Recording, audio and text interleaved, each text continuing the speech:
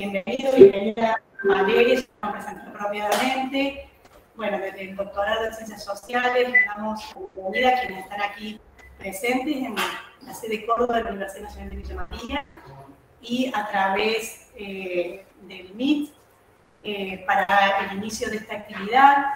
Mi nombre es Malvina Rodríguez, soy la directora alterna del doctorado en Ciencias Sociales y me acompaña aquí el decano del Instituto de Ciencias Sociales, Magíster Gabriel Suárez, eh, la coordinadora del doctorado, doctora Emilia Jagorovsky, eh, el doctor Oscar Oslak, quien nos va a dar ahora la exposición, y la doctora Valeria Serafino, ambos docentes eh, de la materia del doctorado de Ciencias Sociales y Sociedad Latinoamericana, y que hoy comienzan con el curso sobre Estado y Políticas Públicas.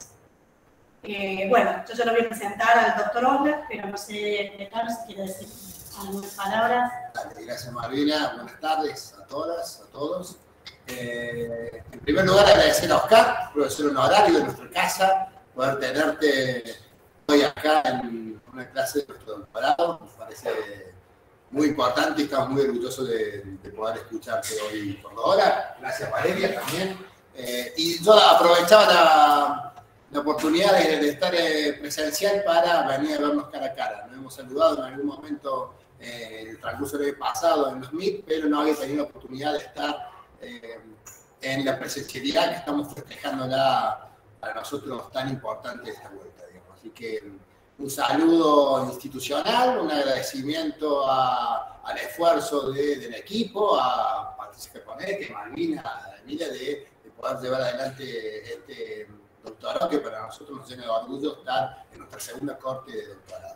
Así que te mando un abrazo, Oscar, y te, y te deseo la palabra a Malvina si te presenta eh, y empezamos a escuchar. Bueno, muchas gracias, eh, bueno, el doctor Orla, que muchas y muchos de quienes están aquí presentes y en el, también en el MIT lo conocen, lo han leído y les tenemos el, el gusto de tener nuestro doctorado, de presentarlo es PhD en Political Science y Master of Arts in Public Administration por la Universidad de Berkeley. A la vez es doctor en Economía y Contador Público Nacional por la Universidad de Buenos Aires. Es investigador superior de CONICET como parte de una larga trayectoria en investigación en las áreas de Administración Pública y Ciencia Política. Bueno, en su larga labor ha realizado múltiples programas de posgrado en el país, en el exterior, creó y dirigió la maestría en Administración Pública de la UBA, presidió la red INPAE, fue secretario de Reforma Administrativa y asesor presidencial, fundador y expresidente de la Sociedad Argentina de Análisis Político. En el ámbito de la docencia, bueno, es docente titular en numerosos programas de posgrado en universidades nacionales y extranjeras, como la de San Andrés, Flaxo, Cruz de Febrero, San Martín, la UBA, entre otras, y como dijo también recién el decano, es profesor honorario, que ha tenido una distinción en nuestra universidad y es un gusto tenerlo eh, aquí nuevamente. Eh, me da un poco de pena resumir un currículum tan profuso, ha recibido numerosos premios, reconocimientos, eh, como por ejemplo la United Nations Fellow, el premio de Peter Odegaard, de la Thinker Foundation, de la Rockefeller Foundation, de Guggenheim, de la Ford Foundation, Clark, entre otros. Fue designado profesor destacada de las ciencias económicas, políticas y sociales por ley de la legislatura de Buenos Aires, es doctor honoris causa de la Universidad Nacional de Cuyo, profesor consulto de la Facultad de Sociales de la UBA, premio Domingo Faustino Sarmiento en el Senado de la Nación Argentina. Eh, bueno, como dijimos, profesor honorario de nuestra universidad y sobre todo ha hecho y sigue haciendo importantes aportes a las ciencias sociales y a su enseñanza con la producción de más de 200 artículos académicos, libros, partes de libros, eh, dirigiendo también posgrados y tesis. Así que, bueno, eh, doctor Oscar, eh, amigo de, esta casa, de esta universidad, muchas gracias por estar aquí presente virtualmente y, bueno, lo esperamos escuchar. Bueno, muchísimas gracias por la presentación. Eh, gracias por la oportunidad de poder dirigirme a graduados estudiantes de la Universidad Nacional de Villa María, que me ha dado la satisfacción de designar profesor hace algunos años. este, bueno, cuando recibí la invitación para dar este curso, pues, me resultaba imposible eh, viajar a Córdoba este, y le pedí a, mi este, colega y amiga este, Valeria Serafinov, que yo sé que es, va a, desarrollar una labor docente mucho mejor que la mía, de modo que estoy seguro que van a disfrutar este curso y aprovecharlo enormemente.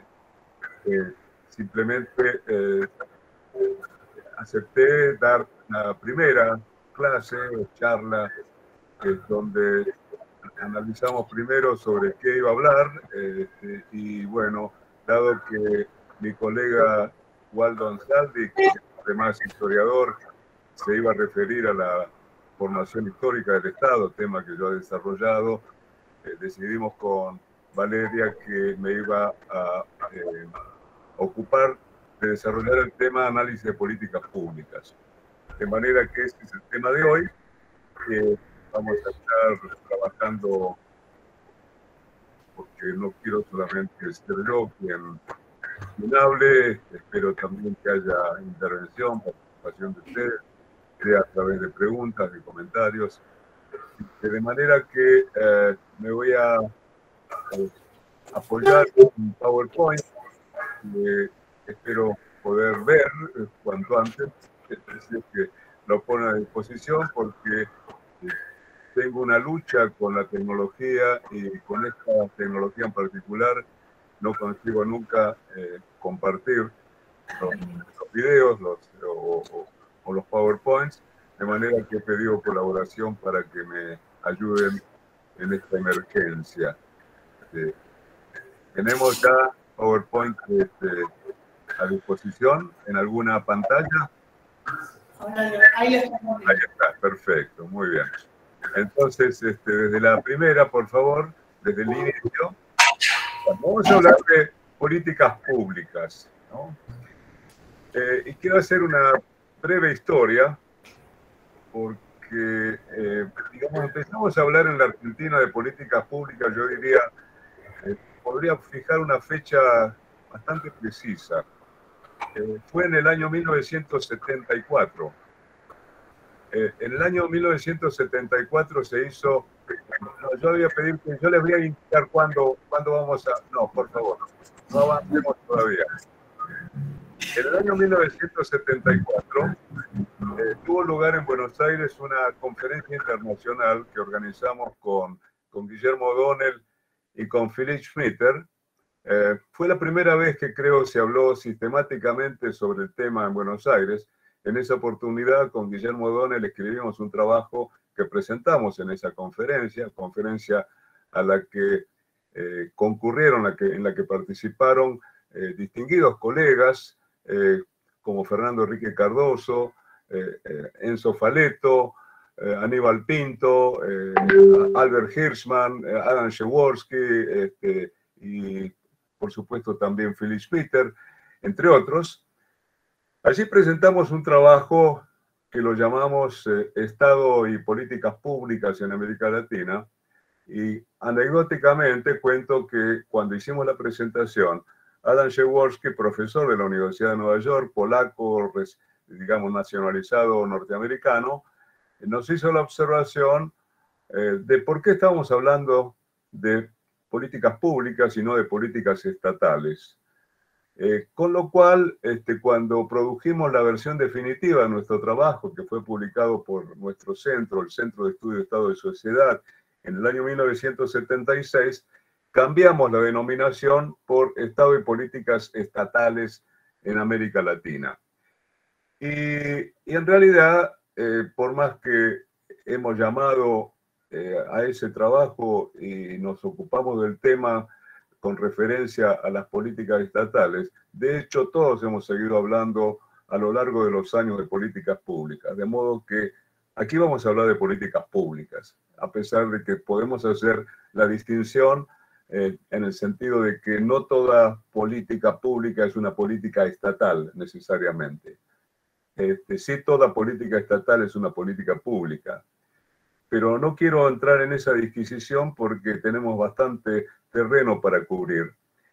Y quiero decir en primer lugar que cuando nos referimos a políticas públicas, eh, prácticamente todos los trabajos, la mayoría de los estudios, eh, no pueden eludir o no consiguen eludir, sobre todo cuando quieren hacer un análisis sistemático desde un punto de vista conceptual de las políticas públicas, no pueden eludir eh, referirse al ciclo de las políticas públicas. Lo llamamos el ciclo de las políticas públicas que describe en realidad toda una serie de etapas, eh, comenzando por una primera, que voy a pedir que este, avance un clic nomás para colocarla y, no, y, y, nos quedamos allí por un rato, porque en realidad las políticas públicas son respuestas a problemas, eh, son eh, cursos de acción, son tomas de posición que alguien por ejemplo, si hablamos de políticas públicas, alguien en nombre del Estado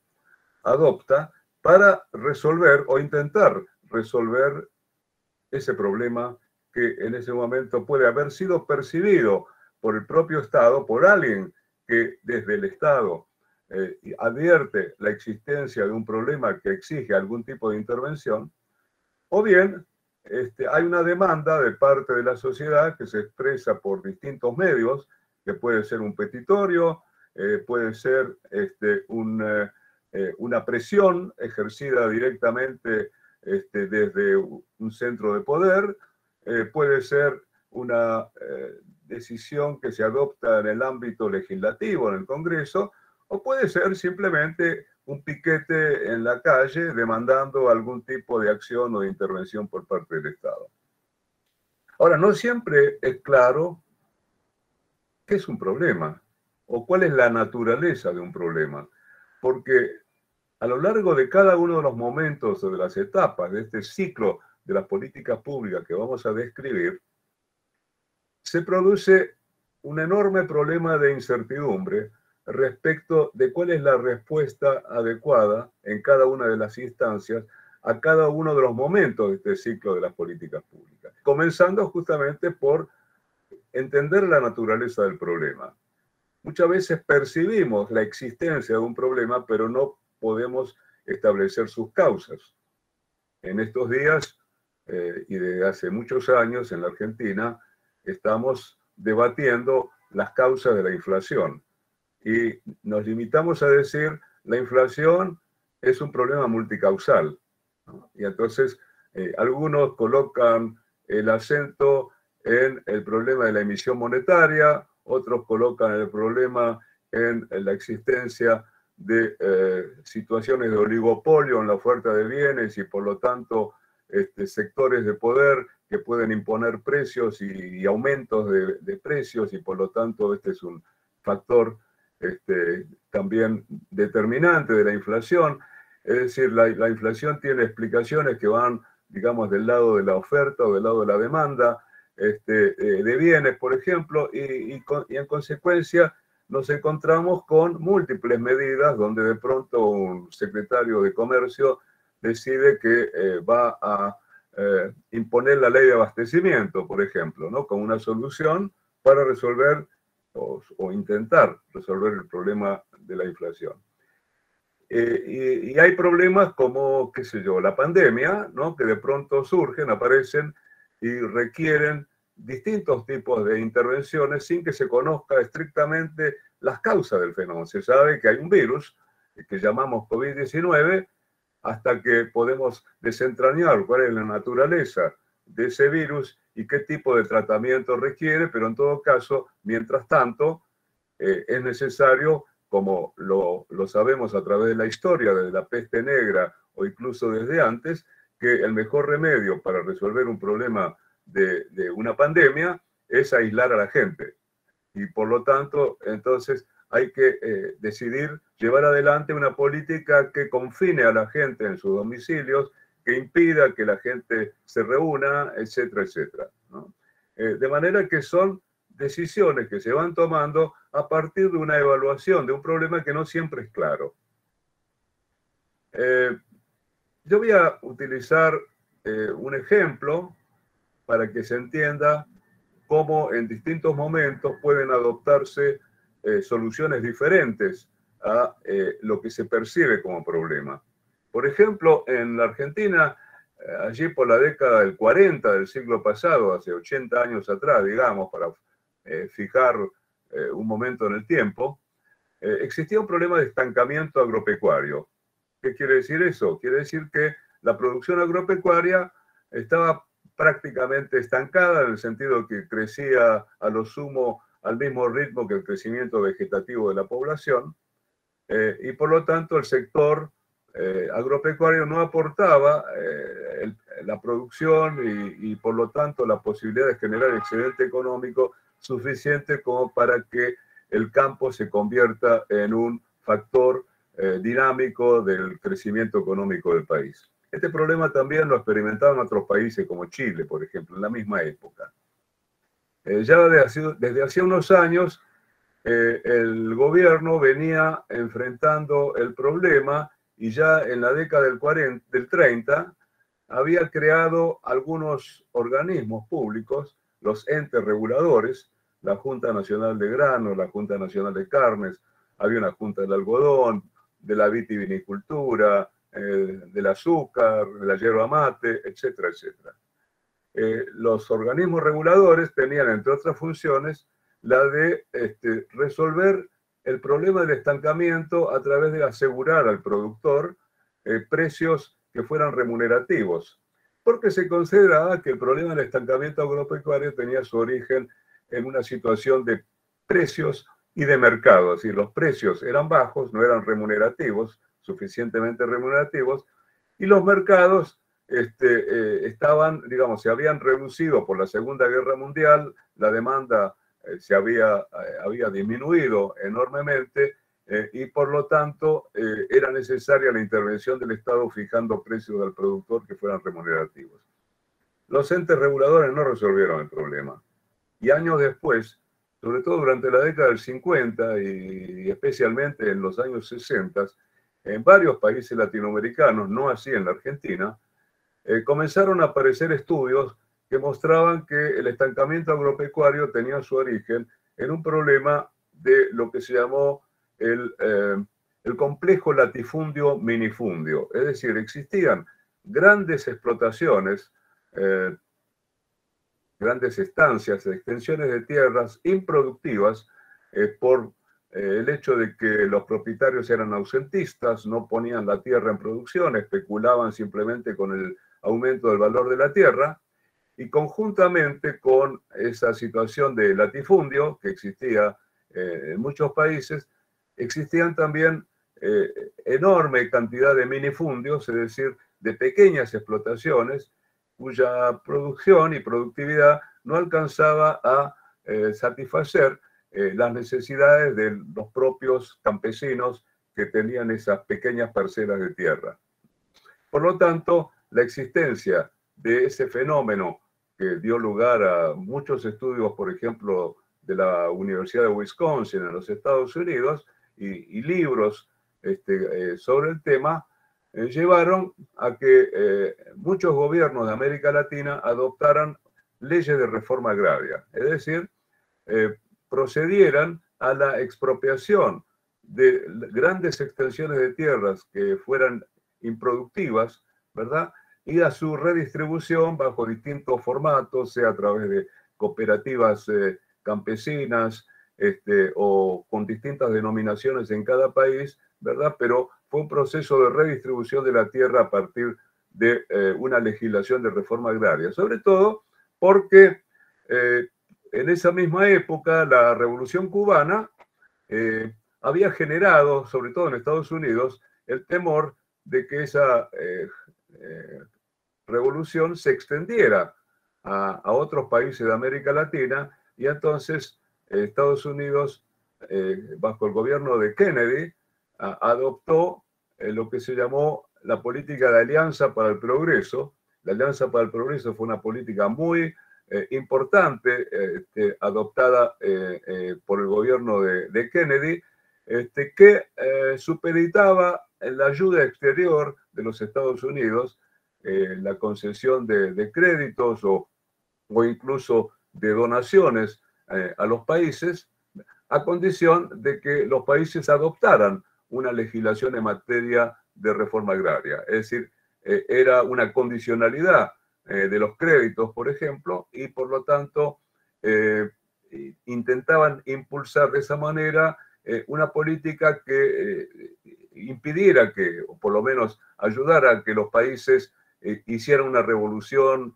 eh, digamos, perdón, una revolución agraria, pero sin, sin que hubiera un, un, hecho revolucionario al estilo cubano. Eso ocurrió, digamos, cuando Cuba, después del 59, de, digamos, del, del, movimiento de, este, de, la revolución cubana, cuando eh, dos años después Cuba decidió este, eh, marchar al, al socialismo y por lo tanto existía el riesgo de que esa revolución se extendiera a toda la región.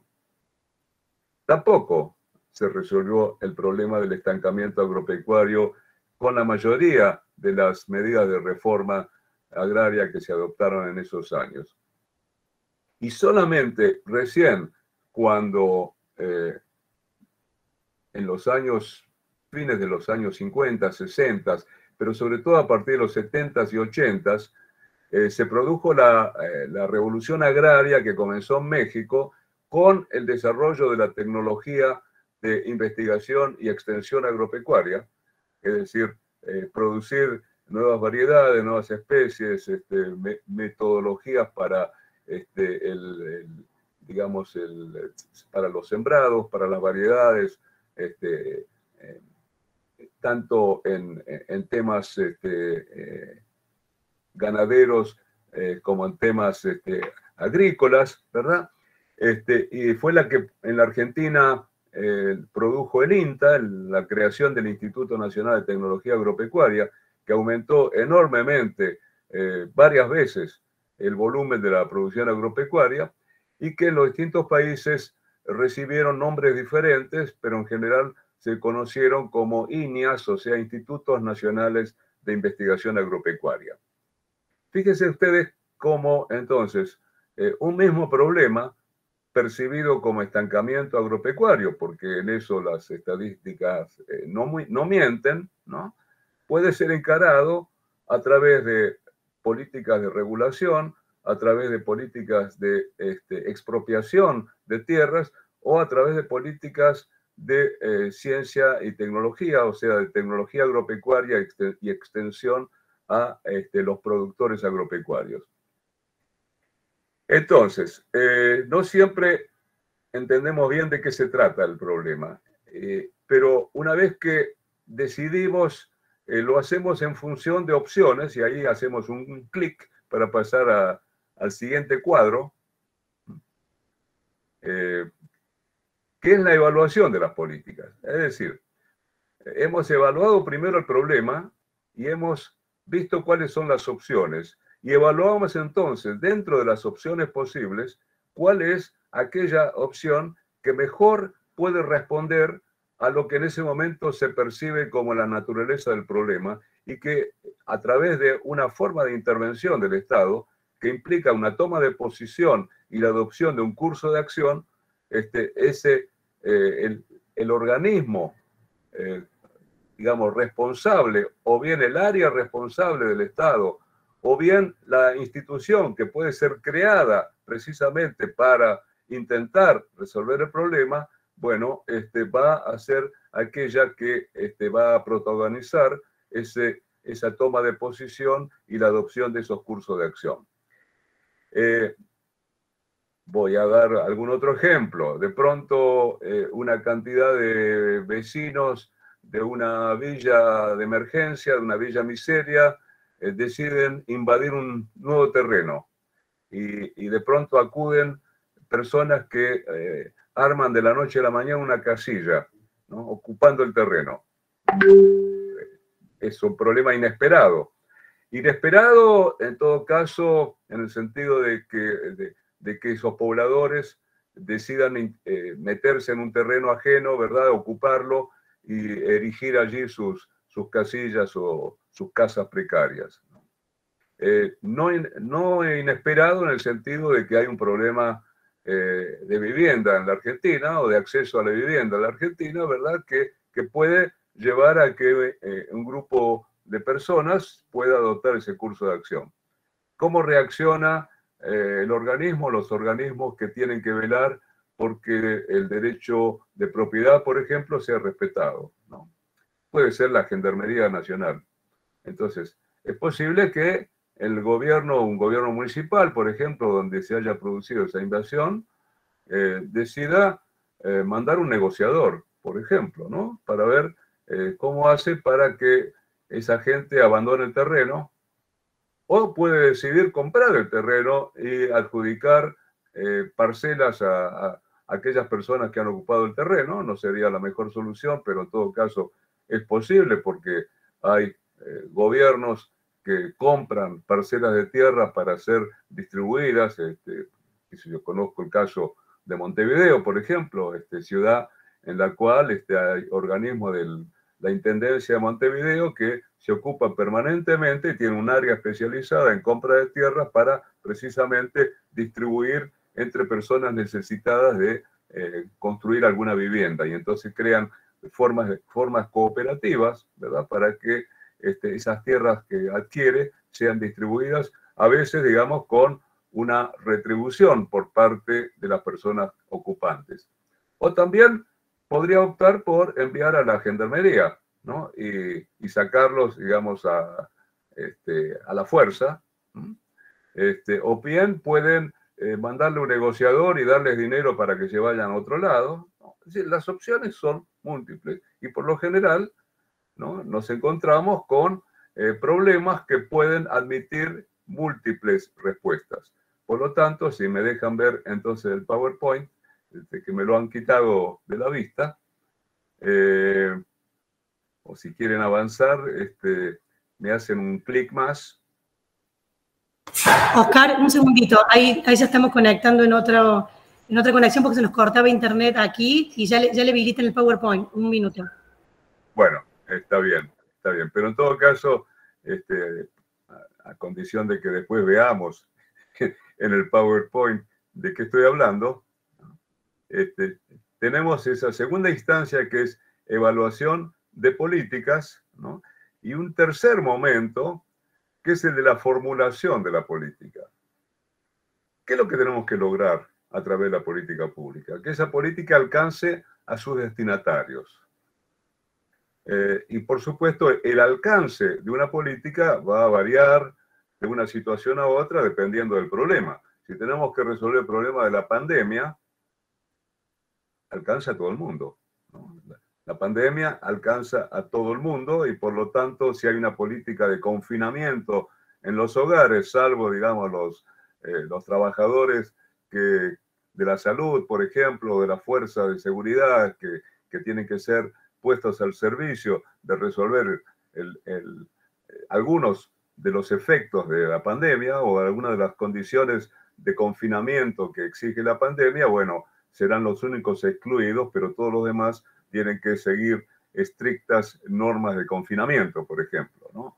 O si hay que vacunar a todo el mundo, bueno, se vacunará a todo el mundo y todos están alcanzados por una política, solo que habrá grupos y habrá grupos prioritarios y eso se decide justamente en esa instancia de formulación de la política. La formulación de la política implica llevar a la práctica eh, una eh, concepción acerca de cuál es el tipo de solución que requiere el problema que se tiene entre manos y requiere eh, formas relativamente elaboradas este, que contemplen diferentes tipos de situaciones, por ejemplo, en el caso de eh, una campaña de vacunación, personas eh, en situación de riesgo y que por lo tanto van a recibir una vacunación en forma prioritaria, eh, o personas que se encuentran en zonas endémicas este, mucho más graves este, que en otras, ¿no? y por lo tanto las medidas van a ser diferenciales según los casos. Por lo general decimos que este, hace falta una ley, no siempre hace falta una ley, a veces simplemente hace falta ejercer una competencia que tenga a su cargo un organismo, como puede ser el caso que di recién de la gendarmería, ¿no? que interviene simplemente porque tiene la competencia de mantener el orden y por lo tanto es llamada a resolver una situación de desorden como puede ser la ocupación ilegal de, un terreno. Eh, entonces, en esa instancia de, que estamos este, intentando ver en el PowerPoint, ¿no? de formulación de la política, se trata de que, por ejemplo, si, se, si fuera un proyecto de ley, hay que ir especificando este, cuál es el alcance, quiénes son los, los, eh, los que van a estar afectados por esa política. Hay políticas que afectan a todo el mundo. Si yo produzco una devaluación eh, del dinero de la noche a la mañana y digo, bueno, de mañana el dólar en vez de 117, eh, valor oficial, va a costar 150, ¿no? O 200, este, todo el mundo va a resultar afectado, ¿no? O si declaro el estado de sitio, eh, una decisión que puedo tomar de la noche a la mañana, todo el mundo va a estar afectado y no puede circular después de las 9 de la noche. Y hay otras políticas que van a ser, por supuesto, mucho eh, más este, eh, restringidas en, su, en sus alcances. Yo puedo decir que voy a adoptar una política de reforma agraria que implica la expropiación de tierras que tengan más de 200 hectáreas de riego básico, por ejemplo, ¿no? que era, por ejemplo, el límite que se fijó en Chile con la ley de reforma agraria eh, adoptada por el gobierno de, del presidente Frey. ¿no? Eh, o en otros casos pueden ser medidas todavía más restringidas que afectan a unas pocas personas, ¿no?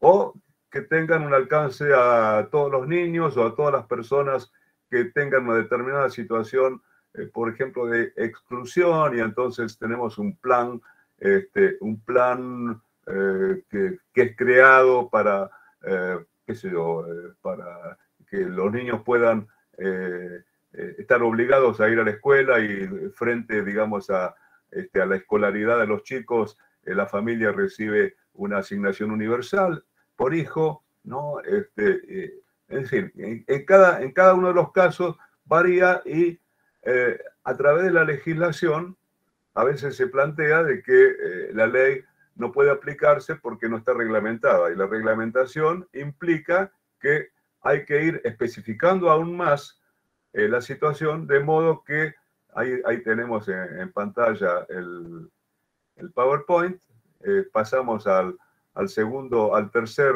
hasta uno, dos, uno más, ahí tenemos la formulación, ahí nos quedamos en la formulación de las políticas, ¿no? este, eh, que sería el tercer momento y donde de nuevo la incertidumbre es grande porque no sabemos estrictamente eh, cuál debe ser el alcance, si todos, si tenemos que eximir algunos de la situación, ¿no? Eh, imagínense de pronto el gobierno puede estar en este momento contemplando un proyecto de blanqueo, ¿no? Este, entonces, tiene que plantearse un montón de preguntas. Una vez más vamos a blanquear, una vez más va a haber un perdón fiscal, una vez más se va a resignar la posibilidad de obtener una recaudación que, por supuesto, se ha salido de los circuitos este, eh, de, la tributación y, por lo tanto, eh, digamos, a, través del pago de una tasa que no sabemos todavía si va a ser el 20 o es el 10, este, o, si va a haber eh, una tasa durante un periodo y después se va a aumentar para aquel que, o aquellos que, no hayan ingresado eh, en la primera tanda, este, y si, digamos, aquellos que han obtenido eh, ingresos a través de medios ilegales, este, como el narcotráfico, o, a través de otros circuitos paralelos, ¿verdad?, ilegales, este, van a ser beneficiados con ese tipo de medidas. Bueno, todo esto requiere una ingeniería jurídica y técnica este, muy compleja, eh, dependiendo de la naturaleza de cada, de cada situación, de cada problema. Y tenemos un cuarto momento donde de nuevo, y hacemos otro clic, este, para referirnos a eh, el último momento de este ciclo de las políticas públicas que la implementación. O sea, hemos evaluado el problema, hemos evaluado qué tipo de opción de política vamos a adoptar, formulamos la política este, en el sentido de, eh, de, determinar cuál es su alcance, a quiénes y con qué consecuencias, este, y después tratamos de que esas consecuencias que previmos en las etapas anteriores eh, puedan cumplirse efectivamente, para lo cual tenemos que poner eh, en marcha un mecanismo institucional, creando, por ejemplo, un organismo o, asignando una nueva competencia a un organismo existente, dotándolo de los recursos humanos, de los recursos financieros, tecnológicos que hacen falta, este, conformar una, eh, lo que podríamos llamar una función de producción, vincular infraestructura, eh, recursos humanos y bienes y servicios no personales, puestos al servicio de llevar a cabo ya acciones específicas que van a ir alcanzando a eh, aquellos que consideramos blanco o destinatario de la, de la medida, sean beneficiarios, sean usuarios, sean sujetos de regulación, ¿no? como puede ser desde, bueno, el perceptor de una asignación universal por hijo, que lo podríamos llamar un beneficiario, o un eh, contribuyente que lo consideramos un sujeto de regulación, que por lo tanto puede, estar recibiendo la visita de un inspector ¿no? para eh, hacerle una determinación de oficio de eh, sus ingresos en la medida que ese inspector determine que no ha hecho una declaración adecuada de, sus ingresos y por lo tanto requiere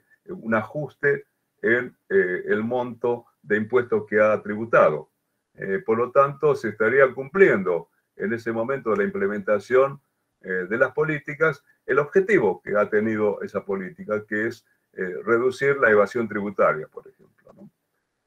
De modo que, bueno, algunos plantean que hay un quinto momento, que sería el momento de la, de la evaluación de las políticas adoptadas. No ya la evaluación del problema, sino la evaluación de las políticas. Es decir, ¿resultó o no resultó? ¿Funcionó o no funcionó? Yo la considero eh, esa etapa eh, subsumida, en cierto modo, en la evaluación del problema, porque en realidad permanentemente tenemos que estar evaluando si el problema fue resuelto. Y si el problema no fue resuelto, tenemos que buscar otra solución. De la misma manera como en su momento eh, se pudo haber pasado de los organismos reguladores a la reforma agraria o de la reforma agraria a la, este, al, desarrollo de la tecnología agropecuaria y así sucesivamente. A veces este, probamos con dos, tres, cuatro medidas diferentes este, y el problema no se resuelve, como ocurre permanentemente con este, nuestro, más serios problemas, sin duda, este, según todas las encuestas, que es la permanente eh, inflación que el país viene sufriendo desde hace décadas. Eh, podríamos, digamos, ponerle un marquito a, este cuadro, por eso está medio, eh, digamos, este, no, no, está centrado. hacemos dos clics, ¿no? Este, y, podemos considerar que hay un nivel de análisis empírico eh, y un nivel de análisis, perdón, nos quedamos todavía allí, este, un nivel de análisis eh, normativo, ¿no? Este, eh, el nivel de análisis empírico es cuando evaluamos un problema o, o, cuando estamos en el proceso de implementación de políticas. El normativo es cuando evaluamos las políticas y formulamos las políticas y tenemos un, un, input que es la evaluación en un caso de problema, en otro caso de política y de decisión tanto en la formulación como en la implementación de las políticas. Formulación e implementación, decimos, de política, es decir, estamos hablando de política y administración. Política y administración es un libro que eh, en inglés, Politics and, Administration, eh, publicó el que fuera presidente de los Estados Unidos, Woodrow Wilson, a fines de, eh, la, del siglo XIX, ¿no? este, haciendo referencia, ¿qué pasó allí? Volvimos a... A ver, tenemos algunos problemas. Ahí está. Bueno, este, pasemos a la, a, la, pantalla. Fíjense que hay como una rueda de reloj acá, ¿no? Porque este ciclo, es, por, eso, por eso es un ciclo, porque se va pasando de una etapa a otra, aunque no necesariamente, esto es un, un análisis que estoy haciendo de carácter conceptual, ¿no? y, tiene, digamos, un, un, objetivo fundamentalmente didáctico, ¿no? Pero, digamos, en la práctica estas etapas pueden superponerse este, y pueden no necesariamente seguir ese curso de acción. A veces este, simplemente eh, intentamos implementar la política y después este, hacemos la norma, ¿no? Invertimos el orden del ciclo o de la secuencia.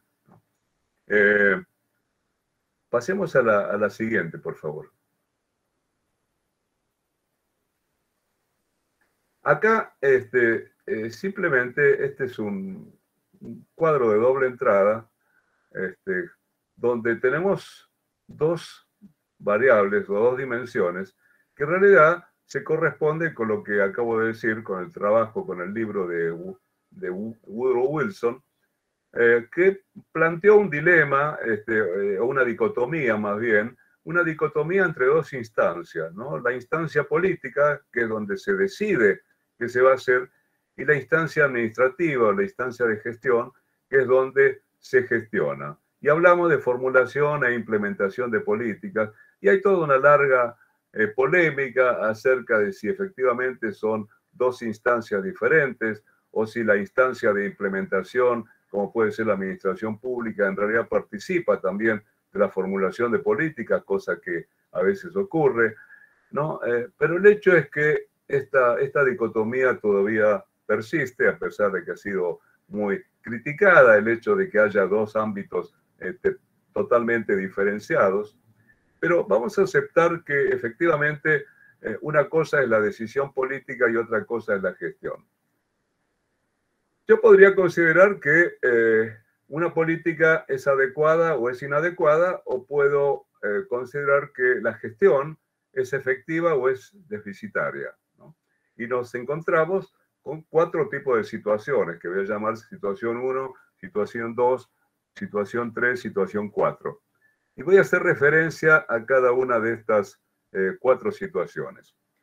¿Cuáles de estas cuatro situaciones son las más comunes? Bueno, yo diría que las más comunes no son eh, las que corresponderían a, la, digamos, a, a la celda verde, donde la política es adecuada y la gestión es efectiva. O sea, si la política es adecuada y la gestión es efectiva, evidentemente vamos a estar este, en vías de resolver o intentar resolver el problema que eh, determinó esa toma de posición. Las situaciones más comunes son las situaciones 2 y 4, diría yo. Eh, voy a dar algunas, algunos ejemplos de, por ejemplo, eh, situaciones que uno puede ubicar en la celda 2. ¿no? Ustedes una política de eh, atención primaria de salud. Eh, la política de atención primaria de salud, por ejemplo, la que se adoptó en la provincia de Buenos Aires, con médicos domiciliarios, este, uno podría decir que es una, o, la, atención de, la, atención de primeros auxilios en, en un hospital uno puede considerar que la política de atención primaria de salud eh, es adecuada, ¿no? Este, me va la luz, es adecuada, pero resulta que la gestión hospitalaria es deficitaria. Entonces, ¿cuáles pueden ser eh, las decisiones a adoptar? Vamos a suponer que se trata de hospitales nacionales. Bueno, en la década del 90, el gobierno de Menem, el gobierno nacional, decidió transferir todos los hospitales públicos nacionales, no todos, pero digamos la gran mayoría que estaban radicados en las provincias, los transfirió a las provincias. Y eso puede ser una, una política adoptada por el gobierno, una, una política de este, descentralización de la gestión a través de la transferencia de los hospitales este, públicos eh, del gobierno nacional a los gobiernos provinciales. Otra decisión puede ser eh, llevar adelante un, proyecto de reforma eh, administrativa del hospital que está funcionando mal. O puede determinar que la reforma del sistema hospitalario eh, integre una política más general de reforma del Estado, por ejemplo. Cada una de estas son decisiones posibles, pero en todo caso, este, la, situación que da origen a esas políticas este, se encontrarían dentro de ese, eh, esa celda número 2. Eh, un ejemplo de una política en la celda número 4, que yo digo que son las más comunes, es decir, donde eh, la política es inadecuada y además la gestión es deficitaria. O sea, una mala política este, que además está mal implementada. Eh, vamos a suponer una empresa pública que este, tiene una errónea política de inversión o que tiene una insuficiente oferta de servicios. Bueno, eh, esto ocurrió mucho en la Argentina y sigue ocurriendo, ¿no? Hay empresas que no son este, demasiado eficientes o eficaces este, en su desempeño. Eh, en la Argentina hemos tenido, por ejemplo, eh, por un lado, decisiones de privatización masiva de las empresas públicas, como ocurrió en la década del 90, o de pronto, eh, como ocurrió en la época de Alfonsín, yo en aquel entonces estaba acompañando al gobierno de Alfonsín en, en el área de reforma del Estado, y, este, eh, y habíamos desarrollado un programa de eh, recuperación, de reingeniería de procesos de las empresas públicas con apoyo del Banco Mundial y del Banco Interamericano de Desarrollo, por ejemplo. Eh, o de pronto algún otro gobierno decide invitar, como ocurrió durante el gobierno de Macri, invitar a CEOs, a, digamos, a Chief Executive Officers, a, los, eh, a los este, ejecutivos eh, mayores de, grandes empresas privadas, a incorporarse este, a la dirección de empresas públicas. Eh, eso ocurrió en más de una oportunidad, ¿no? Por ejemplo, con el sueldo simbólico de un peso. Este, con la ilusión, la esperanza de que metiendo a eh, gestores o a gerentes privados eh, van a mejorar el funcionamiento de la empresa pública. O de pronto se puede crear, como se creó también en algún momento, y no solamente en la Argentina, en varios países, recuerdo en Nicaragua, por ejemplo, en su momento, o en República Dominicana, una corporación de empresas públicas, una corporación que supervise el funcionamiento eh, de las empresas públicas, que lleve adelante procesos eh, puntuales de, reforma administrativa o de, o de, reingeniería de procesos, etcétera, etcétera. ¿no? Se, también se, este, se, siguió esa política en la Argentina y, no resultó mayormente eh, prácticamente en ninguna de las oportunidades en que se intentó. Hay algunas situaciones eh, más, más raras, ¿no? como la del yo diría la celda 3. En la celda 3 podíamos meter allí, eh, por ejemplo, eh, los ejemplos que les di antes para, eh, con referencia al estancamiento agropecuario.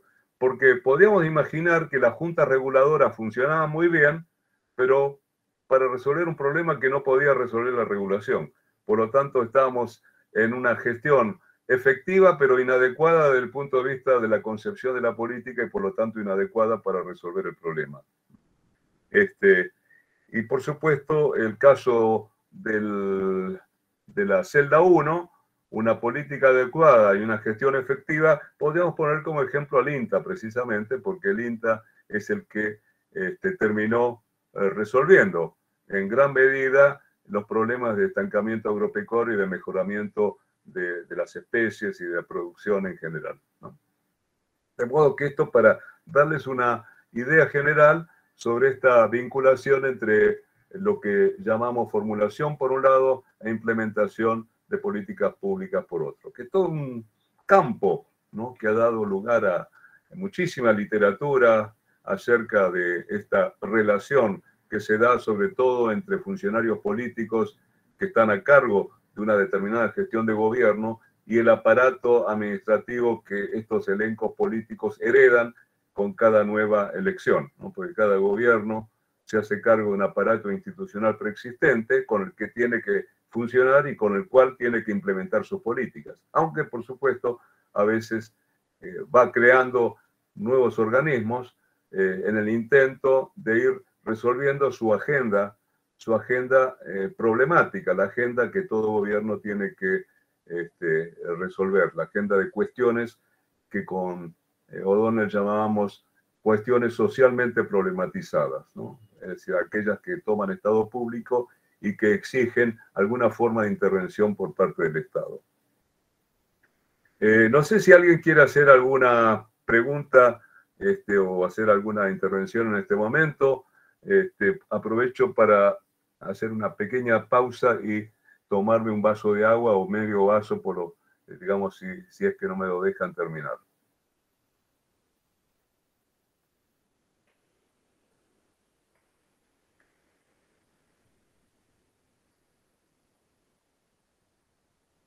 ¿Nadie se anima? Advierto que es gratis.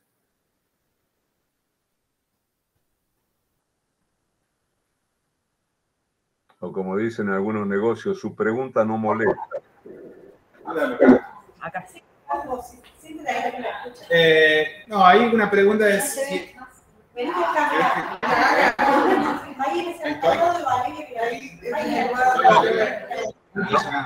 se, no se escucha muy bien. Pero eh, del ciclo de política pública es aplicable a, todo tipo de política. No sé, yo pienso más en políticas sociales. Eh, si tiene digo, las mismas etapas, las mismas fases o adquiere como algunos matices en comparación a otro tipo de política. Si las políticas sociales tienen algún matiz diferencial respecto de otro tipo de políticas? Bueno. No, si el esquema es aplicable a todo tipo de políticas, el ciclo. Perdón, perdón, a ver de nuevo. Si el, el esquema es aplicable ¿no? a todo tipo de política. A ver, eh, yo este esquema lo acabo de incluir en un trabajo que fue publicado en, eh, en una revista internacional, ¿no? Este, se me ocurrió que podíamos desarrollar esto que es muy, muy simple, ¿no? E ilustrar justamente el tipo de situaciones que puede darse eh, en este encuentro entre eh, política y gestión o política y administración, ¿no? Eh, yo, digamos, no recibí todavía ninguna respuesta de ningún lector sobre esta propuesta, pero entiendo que, tal como lo concibo, puede ser aplicable a cualquier tipo de política. Lo que pasa, pensé que tu pregunta estaba apuntando no tanto al esquema, sino a si hay algún aspecto diferencial que tiene la política social que pueda ser distinguible de otras políticas, ¿no? Este, y eso me hizo recordar eh, un trabajo eh, mío de hace ya unos cuantos años atrás, donde eh, precisamente me refería a, este, a esta pregunta, ¿no? Eh, en respuesta ¿no? este, a, eh, a, un, a, un, campo, ¿no? este, a un campo disciplinario, a un subcampo disciplinario, que es este, el campo de la, de la política social, precisamente, donde Bernardo Klicksberg eh, había eh, hecho un paper en su momento señalando que la, política social tenía, era totalmente diferente a la política pública en general. Este, y yo eh, escribí un trabajo que creo que lo denominé política, no sé si Valeria recordará el, el título exacto, pero creo que era política social separando la paja del trigo, ¿no? ¿Era así, vale? el, de la revista venezolana, pero no era no empezaba con política social. Para mí la gestión pública social o gestión social. Ah, sí, gestión, gestión no era política social, sino este, eh, bueno, la gestión de lo social, no sé. Este, pero, la gestión. Claro, y él en realidad creó un subcampo disciplinario, ¿verdad?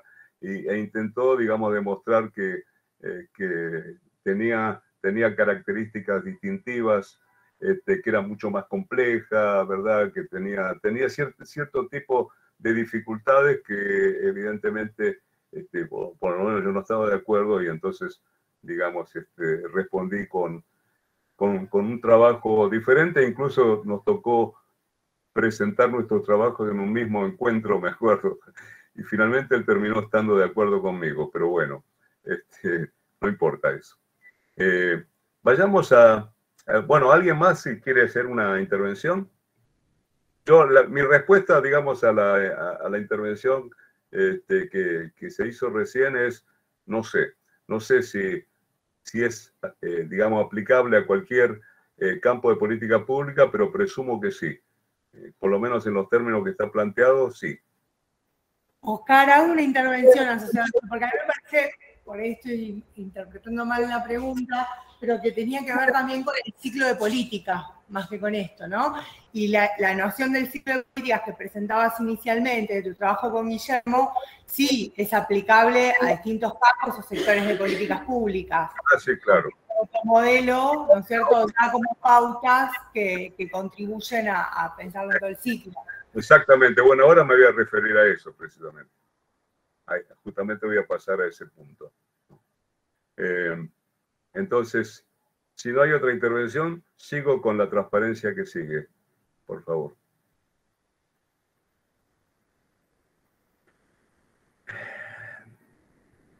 Ah, bueno, acá tenemos, eh, esto, esto es una contribución de, Valeria. Eh, vale, estas son toda una serie de definiciones que yo voy a pedir simplemente que, las pases eh, una tras de la otra. Eh,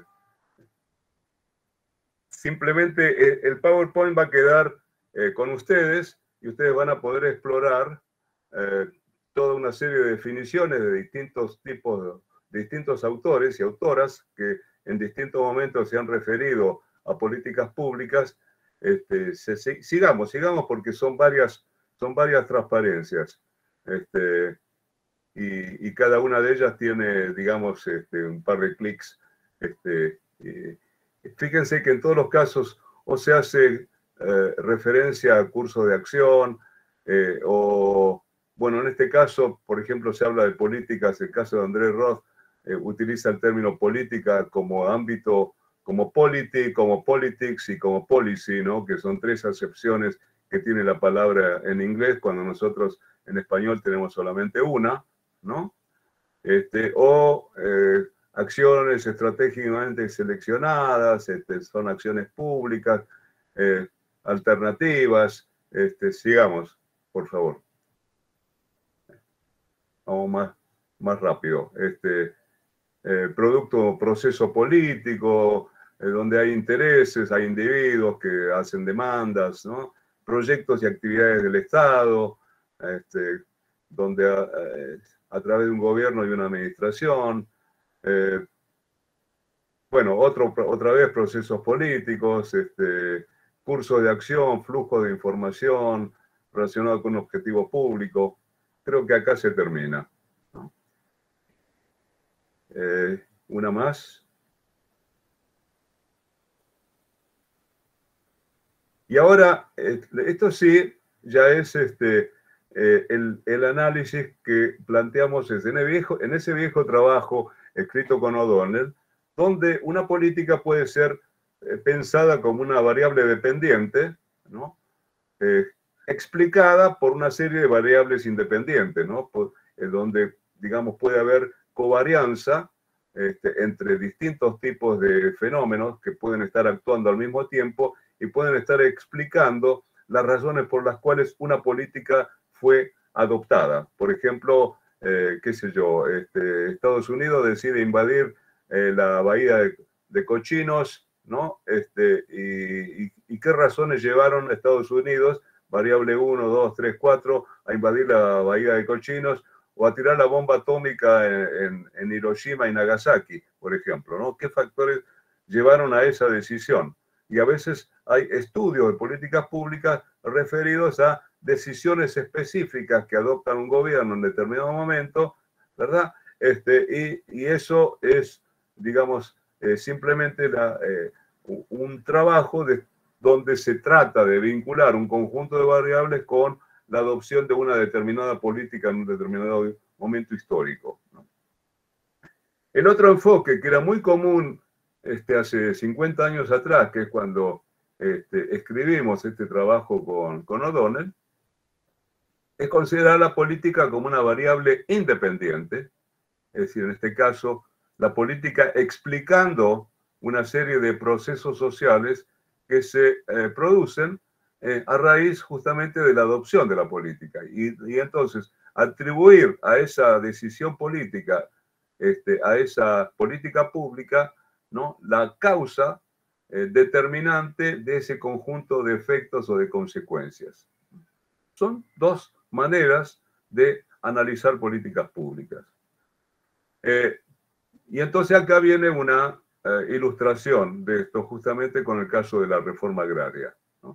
Eh, uno puede tomar la política de reforma agraria que este, implica, como les expliqué antes, eh, por ejemplo, eh, vamos a ir presentándola de a tomar a la política como una variable dependiente de la, por ejemplo, decisión del gobierno norteamericano de llevar adelante la política de alianza para el progreso, o el papel que tiene la iglesia, este, por ejemplo, en la redistribución de sus propias tierras, como ocurrió en Chile, y por lo tanto fue un factor bastante eh, impulsor o promotor de una política de reforma agraria, o, los campesinos de pronto consiguen eh, su sindicalización, que no la tenían anteriormente, y durante el gobierno de Frey hay una ley de sindicalización campesina que permite su agremiación y por lo tanto convertirse en un factor de poder en la medida que tenían posibilidad de legalmente eh, vincularse y llevar adelante acciones colectivas, o eh, los propios industriales, que si bien pueden estar formando parte eh, y eventualmente constituir una alianza de clase con los terratenientes, ¿no? Este, sin embargo, sus intereses económicos, en la medida en que el volumen de su producción puede depender de una reforma agraria que eh, reduzca los insumos de origen agropecuario o que aumente eh, el volumen del consumo por parte de los sectores campesinos, evidentemente sus intereses este, van a ser contradictorios con los que eh, pueden tener, digamos, este, grandes propietarios de tierras que quieren conservarlas y por supuesto este, van a oponerse férreamente a, a un proceso de reforma agraria. Bueno, esta puede ser una manera de ver a la política como una variable dependiente de una serie de, este, de procesos y de actores que este, a, través de sus propios intereses actúan y llevan a que eh, la política de reforma agraria en algún momento se adopte. ¿no? Por supuesto, esto es una simplificación. O la política puede ser eh, pensada como una variable eh, independiente y entonces observar en qué medida la adopción de esa política puede aumentar o reducir la producción agrícola o aumentar el poder campesino o cambiar el patrón de tenencia y propiedad de la tierra o producir una reconstitución de alianzas este, sociales a raíz justamente de, este, de esta medida. Y podemos seguir, digamos, especulando, podríamos pensar por ejemplo, uno, ¿qué ocurre si aumenta la producción agrícola y entonces hacemos un clic más y, este, y entonces, ¿qué pasa si hacemos el clic? no se me duerma. Este, ¿Qué impacto tiene sobre el Producto Bruto Interno, por ejemplo? Y podríamos seguir este, viendo consecuencias y entonces, ¿cómo, cómo cortamos? ¿no? Este, ¿Dónde cortamos el proceso de investigación? Con O'Donnell pensamos eh, en ese trabajo que va a estar a disposición de ustedes, puede ser eh, bajado, no sé si ya fue distribuido, eh, pero puede ser bajado de internet, está disponible. Pensamos que, digamos, analizar políticas públicas exige otro tipo de enfoque. Y el tipo de enfoque vamos a explicarlo primero haciendo un clic, ¿no? Eh, y vamos a considerar, primero nos quedamos en este nivel, un nivel de análisis, vamos a considerar una serie de, análisis diferentes. Nos preguntamos en primer lugar, ¿cuándo surge un problema? ¿Cuándo surge ese problema y quién lo plantea? ¿Lo plantea el propio, el propio gobierno que se hace cargo del problema porque advierte que, este, que va a surgir el problema o se anticipa la ocurrencia del problema? Este, o, bien, digamos, aunque no haya una demanda social que exija su intervención, considera que hace falta adoptar una política porque sea, por las razones que fueren, ¿no? Porque considera que eh, cierto tipo de bienes o servicios producidos por el Estado no son los adecuados o no son los suficientes o no, son, o no tienen la calidad necesaria y aunque no haya una demanda, considera que hay que mejorarlos o de pronto considera que en lugar de que el ciudadano tenga que hacer este, trámites haciendo cola, es necesario digitalizar eh, los trámites administrativos y por lo tanto lleva adelante medidas que eh, modifican totalmente la manera en que el ciudadano se comunica con el Estado y, digamos, este, eh, puede llevar adelante todos los procesos que lo vinculan al Estado sea como contribuyente, sea como demandante de algún servicio que puede llevarse a, cabo, digamos, a través de,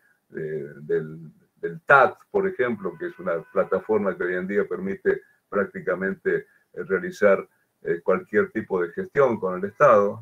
Bueno, este, el Estado toma posición, eh, o bien toma posición frente a una demanda planteada por algún sector de la sociedad. Este, un sector de la sociedad que considera que eh, algo tiene que hacerse respecto de algún problema que aqueja al sector, este, que impide, por ejemplo, su, la expansión de su actividad económica, o a un sector que no recibe los ingresos suficientes por su actividad y por lo tanto requiere algún tipo de intervención reguladora por parte del Estado. Eh, y hay una respuesta por parte del Estado frente a la demanda. Es decir, tendríamos que, ahí me desapareció el PowerPoint, me apareció la gente y me desaparece el PowerPoint. Tenemos, digamos, esa recurrencia.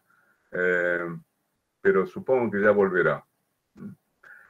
Eh, tenemos ahí este, una especie de, eh, de, propuesta y reacción, ¿no? Ah, ahí, me lo pusieron, me pusieron todo el, este,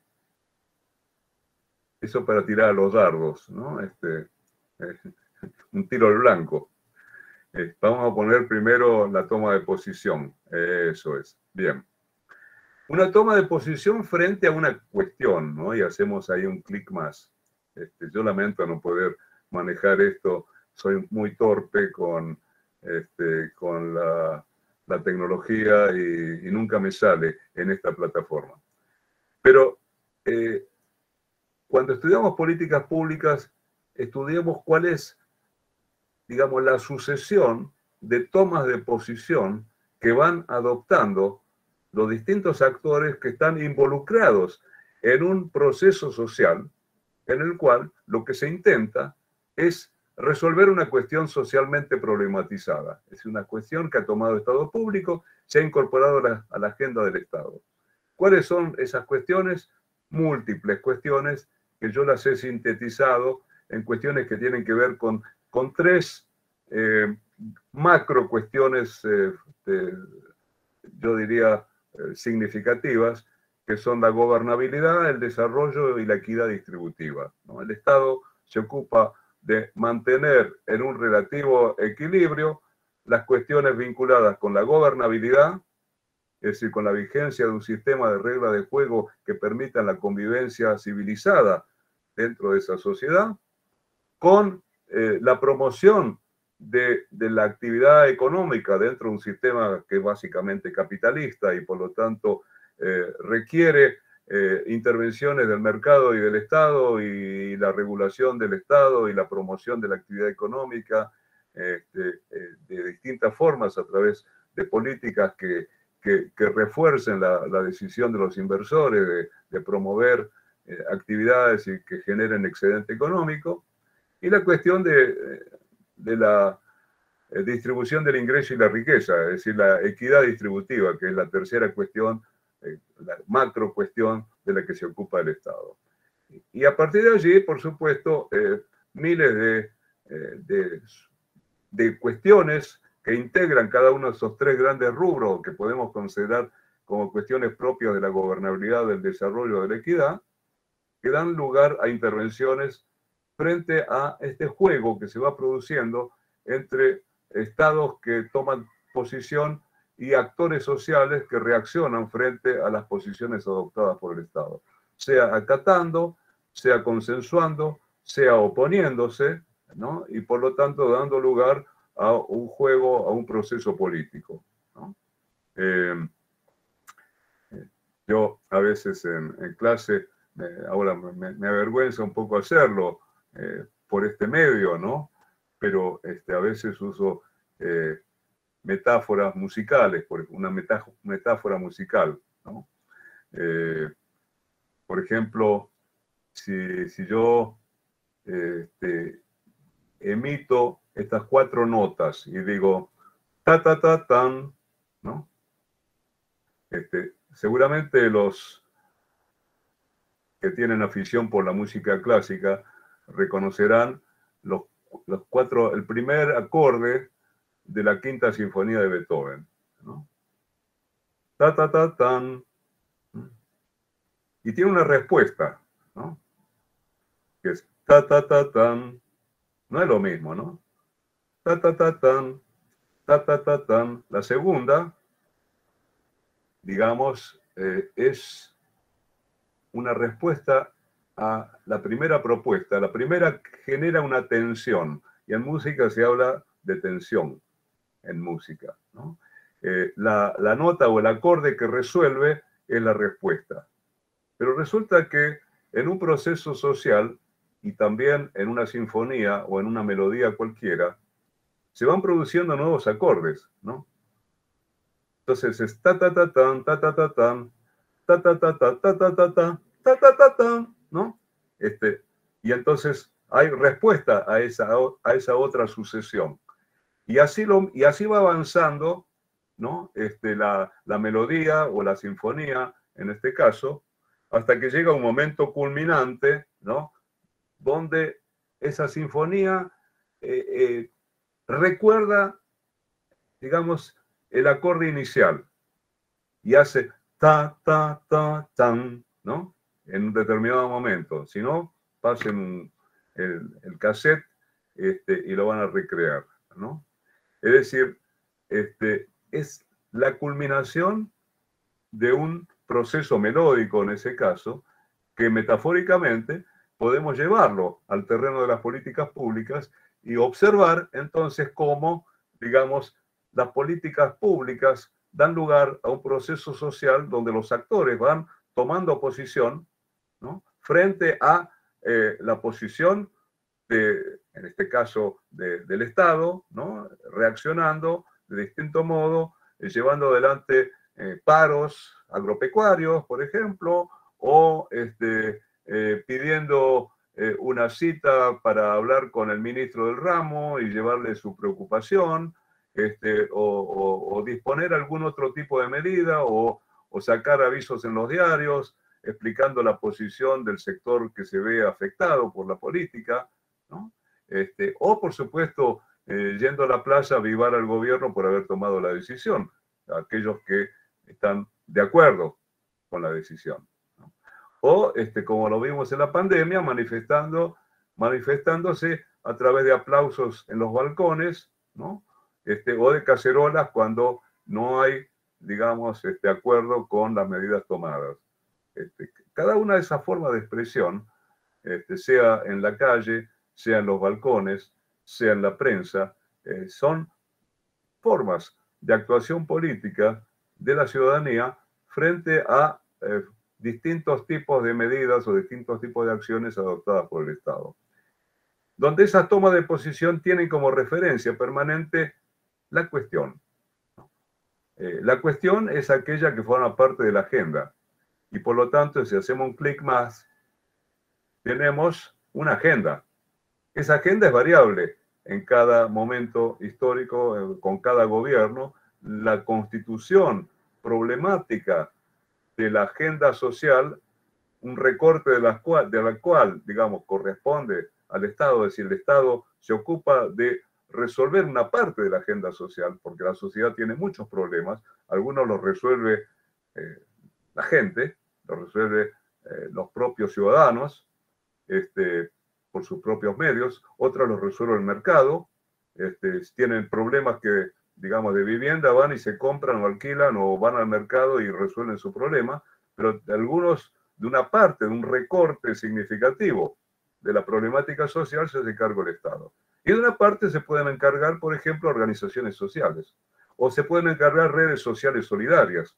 Se juntan los vecinos y entonces deciden eh, mejorar la seguridad del barrio y hacen recorridos del barrio nocturnas, por ejemplo, con o sin este, acuerdo con la policía. Eh, espontáneamente pueden decidir hacer rondas nocturnas, por ejemplo, y resolver o por lo, por lo menos intentar morigerar su problema de inseguridad. Entonces, este, eh, ese problema de inseguridad forma parte de la agenda social, como puede ser parte de la agenda social, este, eh, qué sé yo, eh, la debilidad del sistema educativo o los problemas en el sistema de salud o los problemas de cualquier área de intervención del Estado. Y por supuesto, esas esos procesos sociales, esos microprocesos sociales que se dan en torno a cada una de las decisiones y políticas que va adoptando el Estado, termina impactando en última instancia, y hacemos un último clic allí, sobre la estructura social. Es decir, la estructura social eh, es la más estable, la que menos cambia. las tomas de posición cambian todo el tiempo no solamente cambian las políticas, cambian los ministros, cambian los organismos, ¿no? Este, eh, cambian las cuestiones, pero cambian menos que las tomas de posición, porque los problemas tienden a ser más permanentes.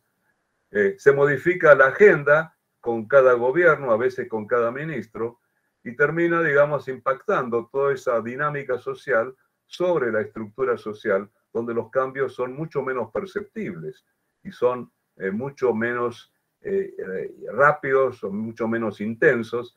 Y acá podemos utilizar otra, otra metáfora, que es la metáfora del tiempo, la medición del tiempo. Eh, la toma de posición es como el, segundero de un reloj, este, que uno puede ver la, manivela este, que, que, mide los segundos y a veces si tiene que eh, medir la velocidad de un atleta que recorre 100 metros llanos necesita eh, un cronómetro con décima de segundo, este, porque el, récord mundial es 9 minutos, 9 segundos 50, 58 décimas de segundo, ¿no? 9.58. Este, y, y hay cosas que la medimos con minutos y hay cosas que la medimos con horas y hay otras que medimos con el almanaque, ¿no? Este, entonces son distintas formas de medición del tiempo y distintos impactos en distintos niveles, ¿no? Este, de este proceso político que, que tiende, digamos, a producir eh, impactos sobre, eh, digamos, este, niveles más agregados, ¿no? Como es, como termina siendo la estructura social de un país. Entonces, eh, nuestra propuesta con O'Donnell es veamos cuáles son las tomas de posición de distintos actores y cómo se inicia el proceso a través del cual esa cuestión va a terminar ser resuelta. No, no solucionada, porque resolver no quiere decir necesariamente solucionar, por, por lo menos queremos darle un sentido diferente a los dos términos. Resolver quiere decir ni más ni menos que sacárselo de la agenda. Porque si yo voy con la gendarmería y saco a los ocupantes de, eh, digamos, de un terreno eh, que fue ocupado ilegalmente, eh, en realidad no estoy resolviendo el problema de los ocupantes, estoy resolviendo el problema de la invasión, porque la invasión se me convirtió en un problema de mi agenda, que tengo que salir a resolverlo. No resolví el problema de los ocupantes, pero sí resolví el problema de la invasión. Este, y si tengo un muerto en ese proceso, tengo otro problema, me creé otro problema, ¿no? Este, y entonces tengo que empezar a, a buscar otro tipo de solución, como por ejemplo hacer, eh, qué sé renunciar al, ministro, al ministro de Seguridad, por ejemplo. Este, bien, pasemos al, a la otra, eso. En estos procesos políticos, paremos ahí, en estos procesos políticos, eh, los actores tanto el Estado como los actores sociales que van a estar involucrados, o sea, que van a estar alcanzados por ese, por la, ese proceso de resolución de la cuestión, que no quiere decir que vayan a ser necesariamente los alcanzados por la política, porque, digamos, puede haber aliados de quienes van a estar alcanzados por la política, por ejemplo, terratenientes que van a ser expropiados y donde, por ejemplo, eh, miembros de la burguesía eh, que no necesariamente son terratenientes, que pueden ser eh, industriales, por ejemplo, grandes industriales, se identifican con la posición de los terratenientes y pueden terminar conformando una alianza ¿no?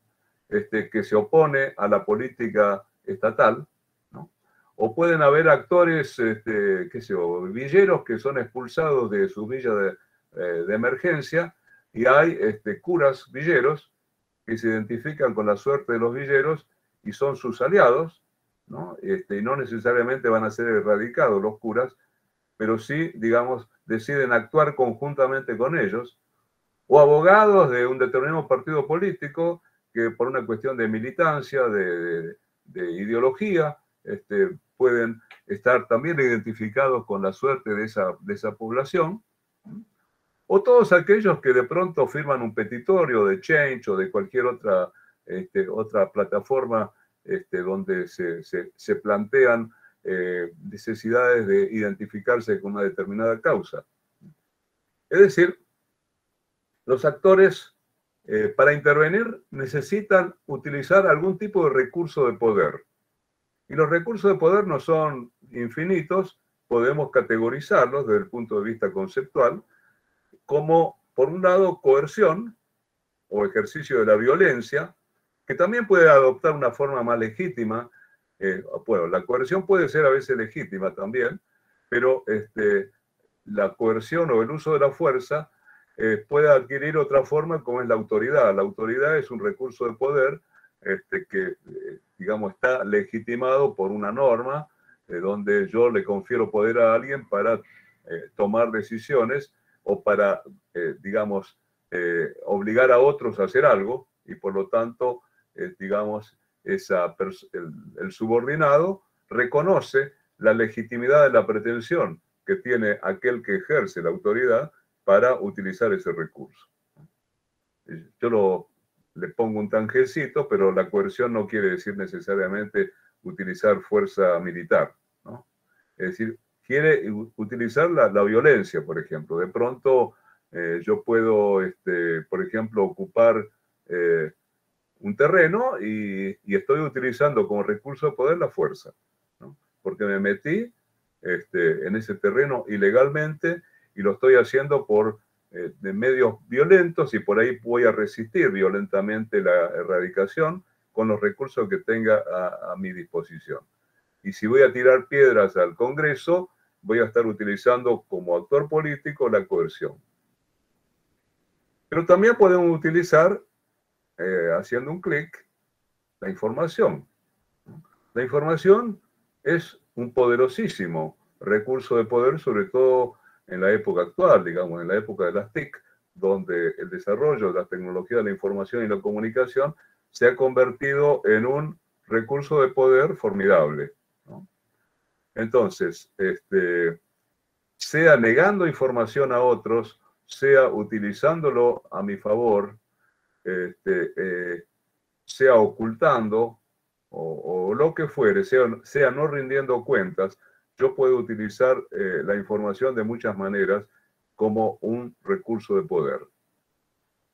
El tercero, todos lo sabemos, este, es el dinero o los bienes materiales en general, ¿no? A veces se dice, eh, el que tiene plata hace lo que quiere, ¿no? Hace lo que quiere, quiere decir, impone su voluntad en la medida que puede corromper con el dinero, en la medida que puede invertir legítimamente, ¿no? Para obtener un, eh, un resultado, ¿no? Pero es un poderoso, poderoso recurso de poder. Y el último de los recursos de poder, por lo menos desde esta posible categorización que estoy planteando, es la ideología. ¿no? Eh, si hacemos un clic, va a aparecer eh, legitimidad. La legitimidad podríamos diferenciarla de la ideología, ¿no? pero digamos, este, eh, lo que quiero destacar particularmente es la ideología. ¿no? Es decir, aquel que puede convencer este, y, digamos, modificar eh, pensamientos, eh, intervenir en la conciencia ajena, hacer eh, funcionar a otro de acuerdo con determinados valores, de, acuerdo con determinados principios. Este, bueno, tiene también en sus manos un poderoso, a veces, recurso de poder. Y todos nosotros, en mayor o menor medida, tenemos una, eh, un equipamiento de recursos de poder, todos podemos ejercer un poco nuestra fuerza, aunque sea para abrir una botella de Coca-Cola, pero digamos, podemos utilizar nuestra fuerza. Este, en alguna medida, eh, hay algunos que tienen un poder excesivo, aquel que dice agárreme que lo mato, ¿no? Este, ¿no? O que tienen la trompada prohibida. Eh, a veces la utilización de un recurso de poder como puede ser la fuerza eh, reduce la legitimidad esa persona porque el uso de la fuerza puede ser ilegítimo. Eh, de manera que eh, cada actor tiene un determinado balance de poder, podríamos decir, ¿no? podríamos inventariar nuestros recursos de poder, determinar cuántos bienes materiales disponemos, de cuánta información disponemos y, y cómo podemos entonces actuar políticamente munidos de esos diferentes recursos, de esa diferente dotación de recursos de poder. Pasemos a la siguiente, por favor. Esta es la tapa de uno de mis últimos libros, se llama La trama oculta del poder, precisamente, donde este, quisiera comentarles eh, muy brevemente cómo algunos de estos conceptos que he estado eh, desarrollando hasta ahora en la clase, eh, fueron utilizados eh, para escribir este libro, donde el subtítulo, que no se alcanza a ver, supongo, es algo así como comportamiento político de los terratenientes chilenos durante el proceso de reforma agraria en Chile, ¿no? durante los gobiernos de Alessandri eh, Frey, Eduardo Frey y Allende. Es decir, desde 1958 hasta 1964 tuvo lugar eh, el gobierno de Alessandri, un gobierno conservador, un gobierno de derecha, sostenido por el Partido Liberal y el Partido Conservador de Chile en aquella época. Entre 1964 y 1970 el gobierno de Eduardo Frei padre, porque el hijo también fue presidente de, Chile, que fue un gobierno demócrata cristiano, un gobierno progresista, eh, y el gobierno de Salvador Allende, derrocado por Pinochet en 1973, que solamente transcurrió entre 1970, en que fue elegido Salvador Allende, y 1973, en que cayó este, a raíz del golpe de Pinochet un gobierno revolucionario. Eh, lo interesante de esta investigación es que es un análisis de políticas públicas, pero no enfocado desde el Estado, desde las tomas de posición eh, de estos distintos gobiernos, sino a partir del comportamiento político, o sea, de aquellos que reaccionan frente a la actuación del Estado, frente a las políticas de reforma agraria, eh, que fueron los terratenientes eh, que durante esos 15 años vivieron la incertidumbre de ser sometidos a un proceso de expropiación de sus tierras. Y donde la política fue progresando en intensidad al pasar de un gobierno conservador como el de Alessandri, donde eh, Alessandri toma la decisión de llevar adelante, un gobierno conservador toma la decisión de llevar adelante una política de reforma agraria a raíz de la presión ejercida sobre todo por Kennedy eh, y su Alianza para el Progreso, donde prácticamente, como digo, casi todos los países latinoamericanos adoptaron leyes de reforma agraria. Pero esta ley se la llamó la ley del macetero, la ley de la maceta, eh, porque solo removió la tierra de la maceta. En realidad no produjo ni una sola expropiación de tierras.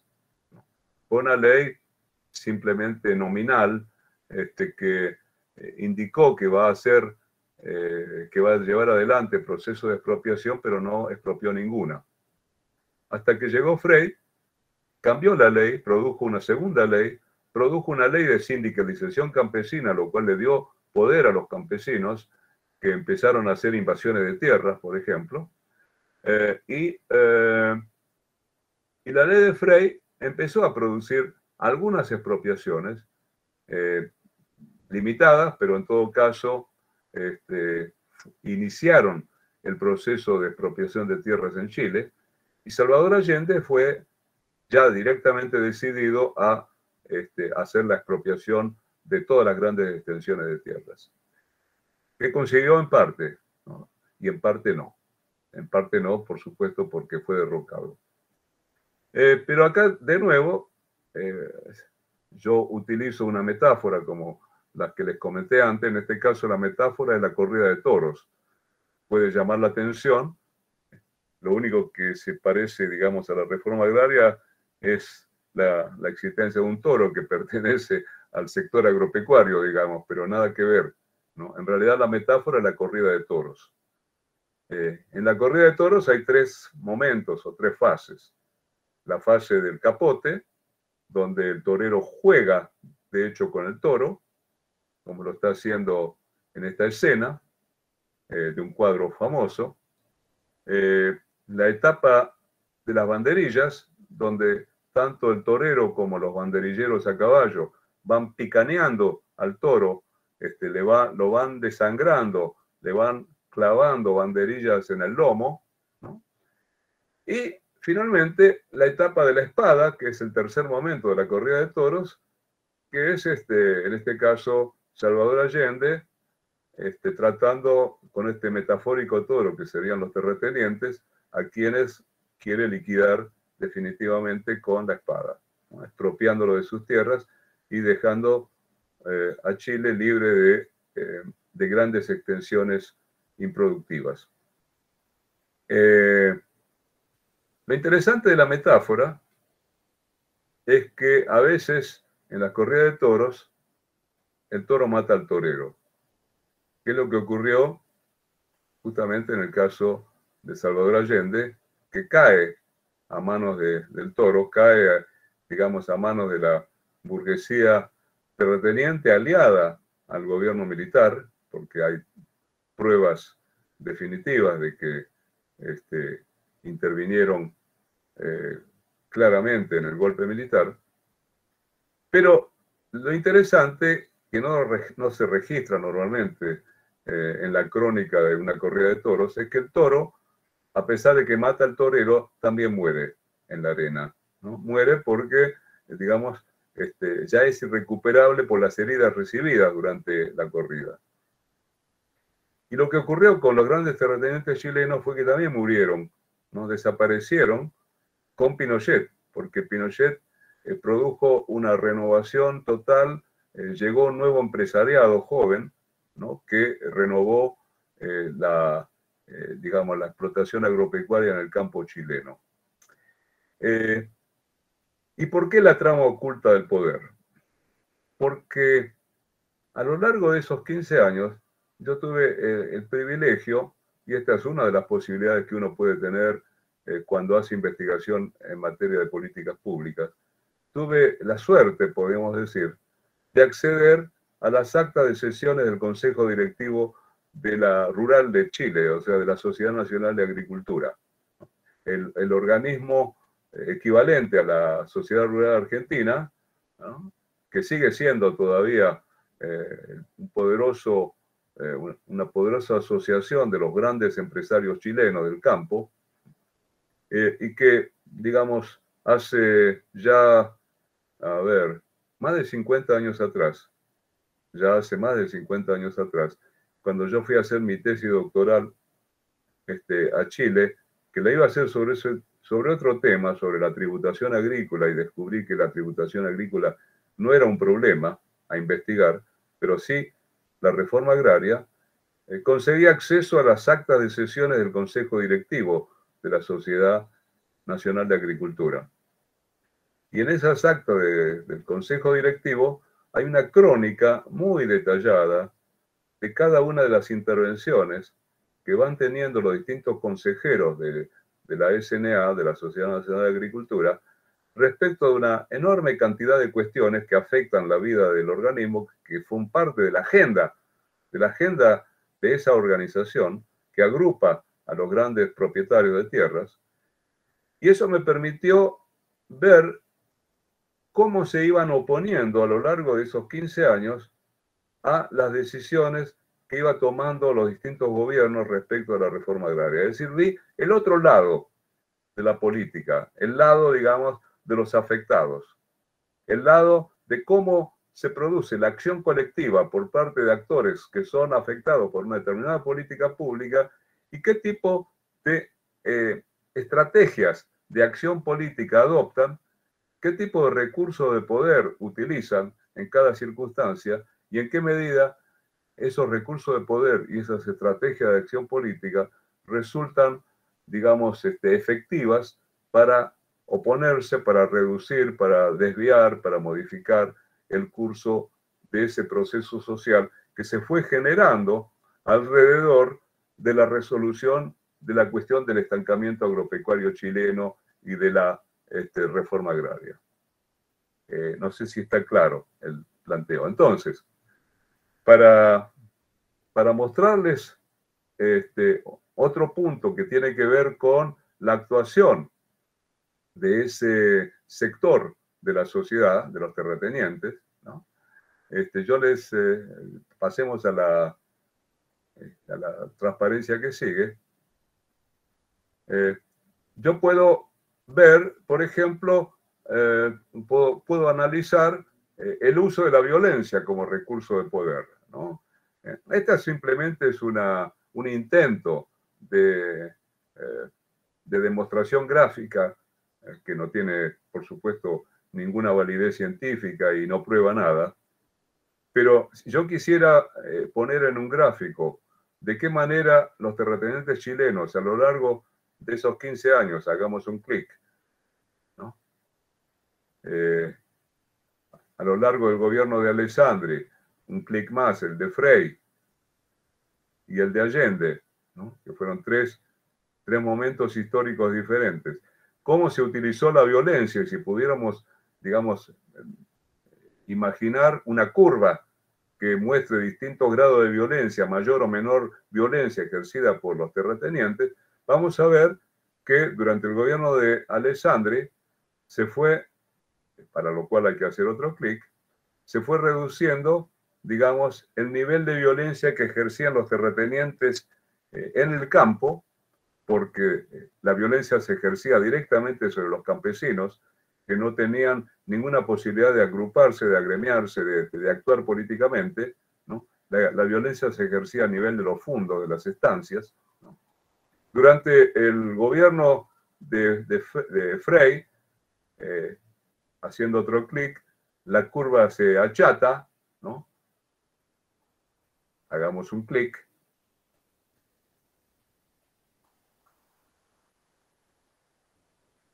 Y entonces tenemos lo que ellos mismos eh, denominaron la política de convencimiento, para lo cual, por ejemplo, designaron como presidente de la institución a un demócrata cristiano, en lugar de lo que normalmente eran presidentes de la institución, que eran integrantes del Partido Liberal o del Partido Conservador. Eh, y además era eh, una persona que había sido discípulo de Frey en la universidad, porque Frey era profesor de Derecho, y entonces nombraron a un discípulo de Frey, ¿no? Para que intente convencer a Frey de que eh, deje de insistir con la política de reforma agraria, cosa que no ocurrió. Y cuando ya estábamos en el gobierno de, Allende, ¿no?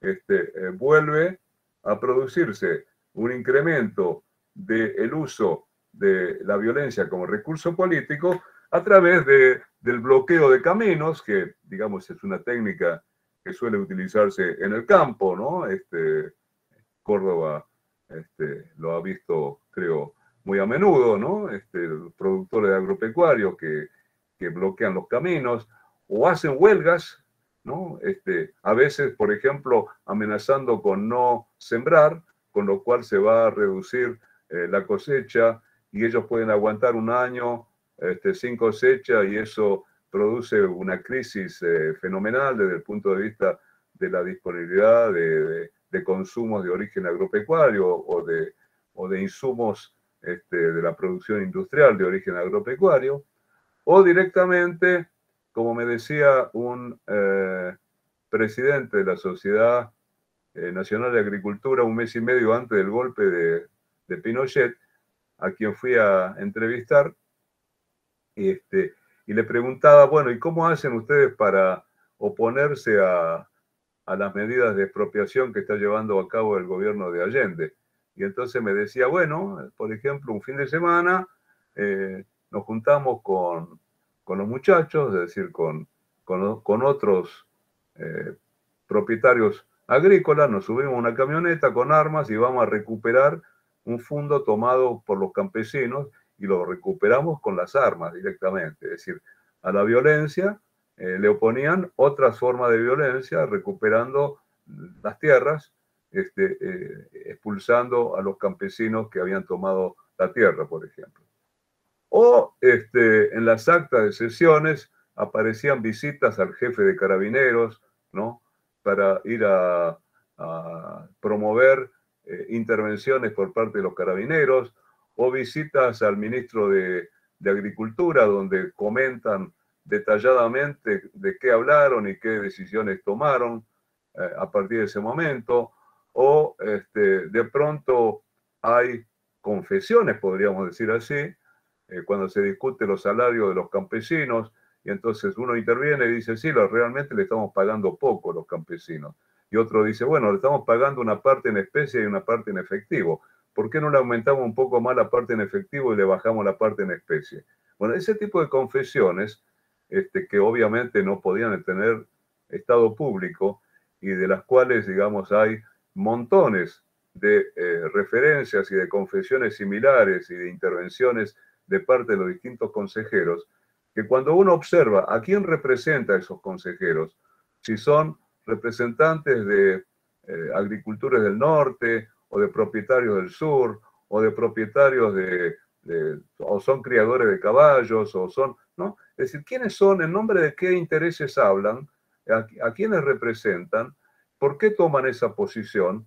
Es decir, la acción colectiva de una asociación eh, de productores, en este caso este, de, terratenientes, como el caso de la Sociedad Nacional de Agricultura, en realidad eh, las posiciones que finalmente adoptan son posiciones que se elaboran a partir de intervenciones diferentes que reflejan intereses distintos de grandes, medianos eh, productores, que son los que integran la asociación, este, de distintos tipos de, productos, de distintas zonas geográficas del país, de distinta extensión eh, de las tierras, de distinto grado de incertidumbre respecto de cuál va a ser eh, el destino de sus tierras, o sea, gente que puede o no actuar, que puede no o no estar de acuerdo, que puede aceptar una medida de eh, de expropiación de tierras improductivas, pero no de tierras productivas,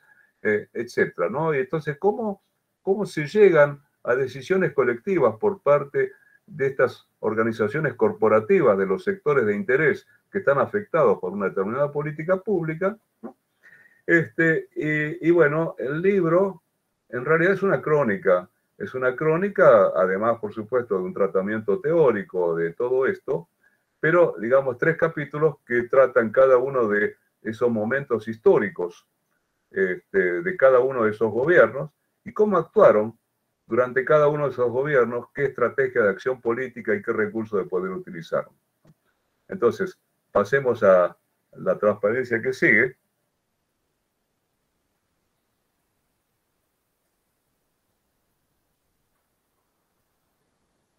Transparencia que sigue.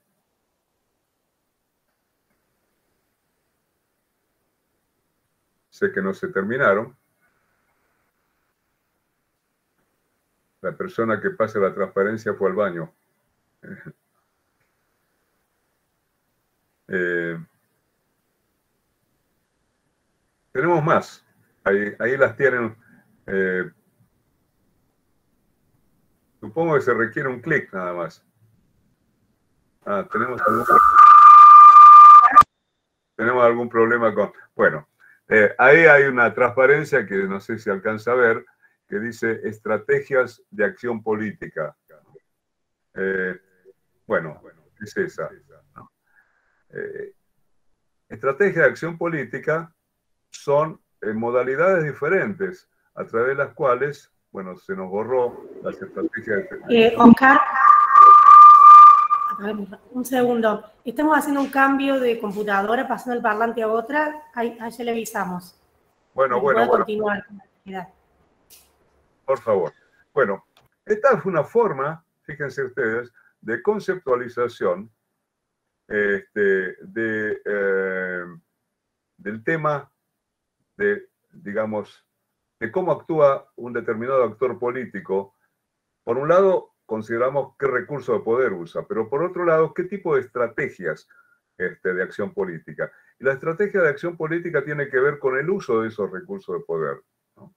Es decir, por ejemplo, si arriesga su situación de recurso de poder, eh, por ejemplo, dice de ah, ahí se apareció y se, y se fue. Bueno, consolidación, obstrucción, cooptación, enfrentamiento, adaptación o penetración o persuasión.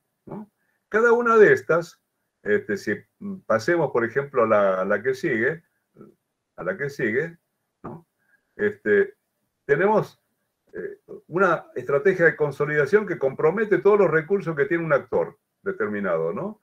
Entonces, eh, esos recursos hay que asociarlos, integrarlos y emplearlos de, de manera tal que como resultado este, aumente sus recursos, se consoliden los recursos de poder y, enfrenten con éxito una amenaza o una acción concreta que haga peligrar la supervivencia del grupo o de integrantes del grupo, digamos, aquellos que van a ser objeto de, eh, eh, expropiación. entonces se orienta, dice, hacia dentro del propio grupo. O sea, a veces una institución amenaza con disolverse, hay posiciones internas, ¿no? hay hay agrupaciones que compiten y tienen eh, eh, ideologías incluso diferentes respecto de cómo resolver una cuestión. Entonces, si consiguen, este, bueno, eh, eso ocurre en todos lados, hablamos, hablamos, digamos, de la alianza de gobierno o hablamos de la alianza de la oposición y cuál es el grado en que tanto gobierno como oposición consiguen integrar este, sus recursos y, y emplearlos, emplearlos de manera digamos, este, común, ¿no? Este, bueno, eso implica hacer acciones hacia adentro de la propia organización. Por ejemplo, aumentar la membresía este, o eh, incorporar, eh, como hicieron en determinado, en determinado momento, al consejo directivo a los, eh, este, a los ingenieros, a los agrimensores, por ejemplo, ¿no? aquellos que tenían que hacer la medición de los campos en los procesos de expropiación y entonces tratar de, bueno, esa no sería estrictamente de consolidación, sino sería de cooptación. Este, tenemos entonces una estrategia distinta, si hacemos un clic, que es la de obstrucción. Bueno, trato de reducirle los recursos de poder a la unidad este, eh, este, que, digamos, eh, está, eh, por ejemplo, ocupando un campo. Digamos, los, campesinos ocuparon un campo, interfiero en sus acciones y comprometo el éxito, obstruyo la acción de ellos, ¿no? Este, o hago una, un corte de caminos, ¿no? Obstruyo, piqueteros, ¿no? Es una estrategia de obstrucción. O de cooptación, como el caso que estaba diciendo recién, ¿no? Este, incorporo otras instituciones, a, ¿no? hago una, alianza más grande, coopto a los, a los este, industriales. Por ejemplo, recién con el gobierno de Salvador Allende consiguieron cooptar, definitivamente a los industriales. ¿Por qué? Porque los industriales empezaron a, este, a, ver que sus industrias eran también tomadas por el gobierno de, de, este, de Allende, ¿no? O sea, no solamente se expropiaban tierras, sino también se expropiaban industrias. Y entonces ahí se asociaron a la causa de los terratenientes. O sigamos este, a la transparencia que sigue. Eh, estrategia de enfrentamiento, ¿no? Este, arriesgo mi, mi, situación actual de recursos con el objeto de aumentarlo en el futuro, a costa de la posición rival, ¿no? Y ahí, ahí sí empleo directamente la violencia. O la que sigue, de adaptación. Este, por ejemplo, uso, recursos ahora para evitar una pérdida mayor de recursos en el futuro. ¿no? Eh, o sea que de entrada tengo que perder recursos, pero esos recursos pueden llegar a convertirse en una inversión posteriormente. O finalmente, una de persuasión o de penetración que tiene características comunes a las otras estrategias, eh, que pretende debilitar la posición de la unidad rival, pero a diferencia de ella, elige la acción directa sobre la unidad rival o sobre sus aliados potenciales y emplea la infiltración ideológica, por ejemplo, así como medio de comunicación, emplean la radio, los diarios, etc. ¿no? Emplean la ideología. Eh, con esto, eh, bueno, yo, esto ustedes no lo van a encontrar en los libros, ¿no? Este es un desarrollo que hice a partir de una investigación que me fue mostrando de qué manera diferente eh, actúan este, aquellos actores que se ven involucrados en un proceso político, ¿no?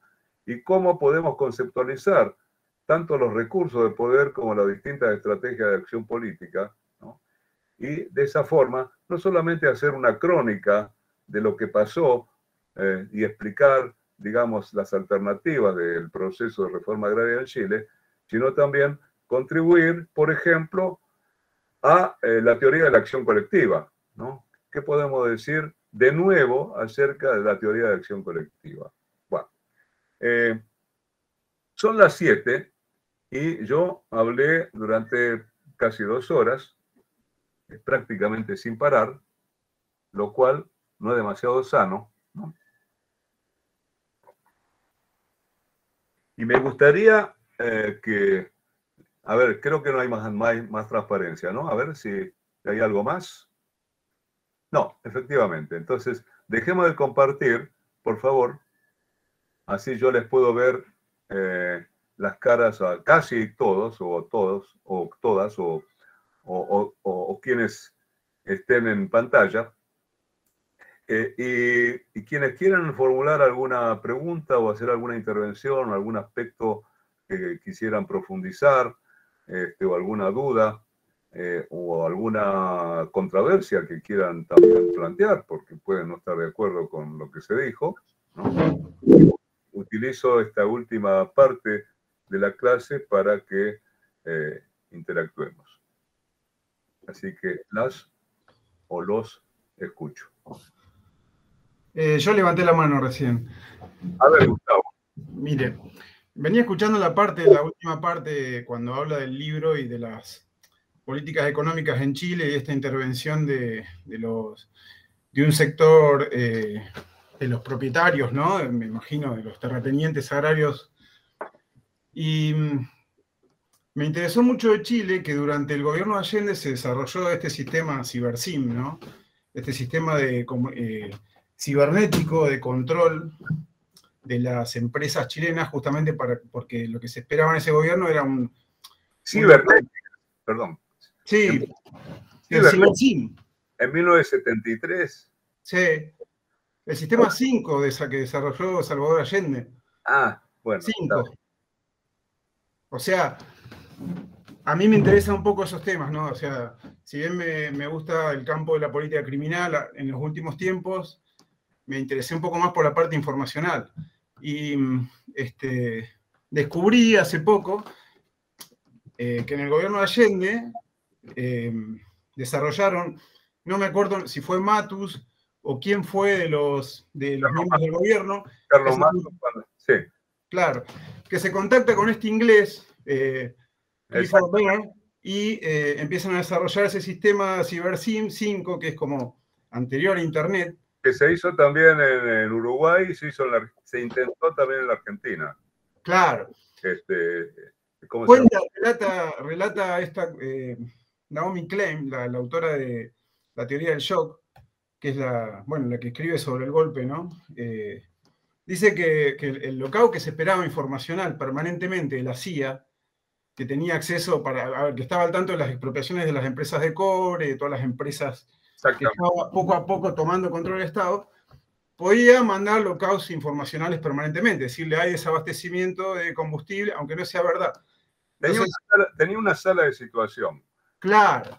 Tenía una sala de situación, lo que se empezó a llamar sala de situación, donde podía eh, hacer el monitoreo de las principales variables económicas, sobre todo de la producción, este, casi online, digamos, no online estrictamente, pero digamos, había un reporte diario de sala de situación.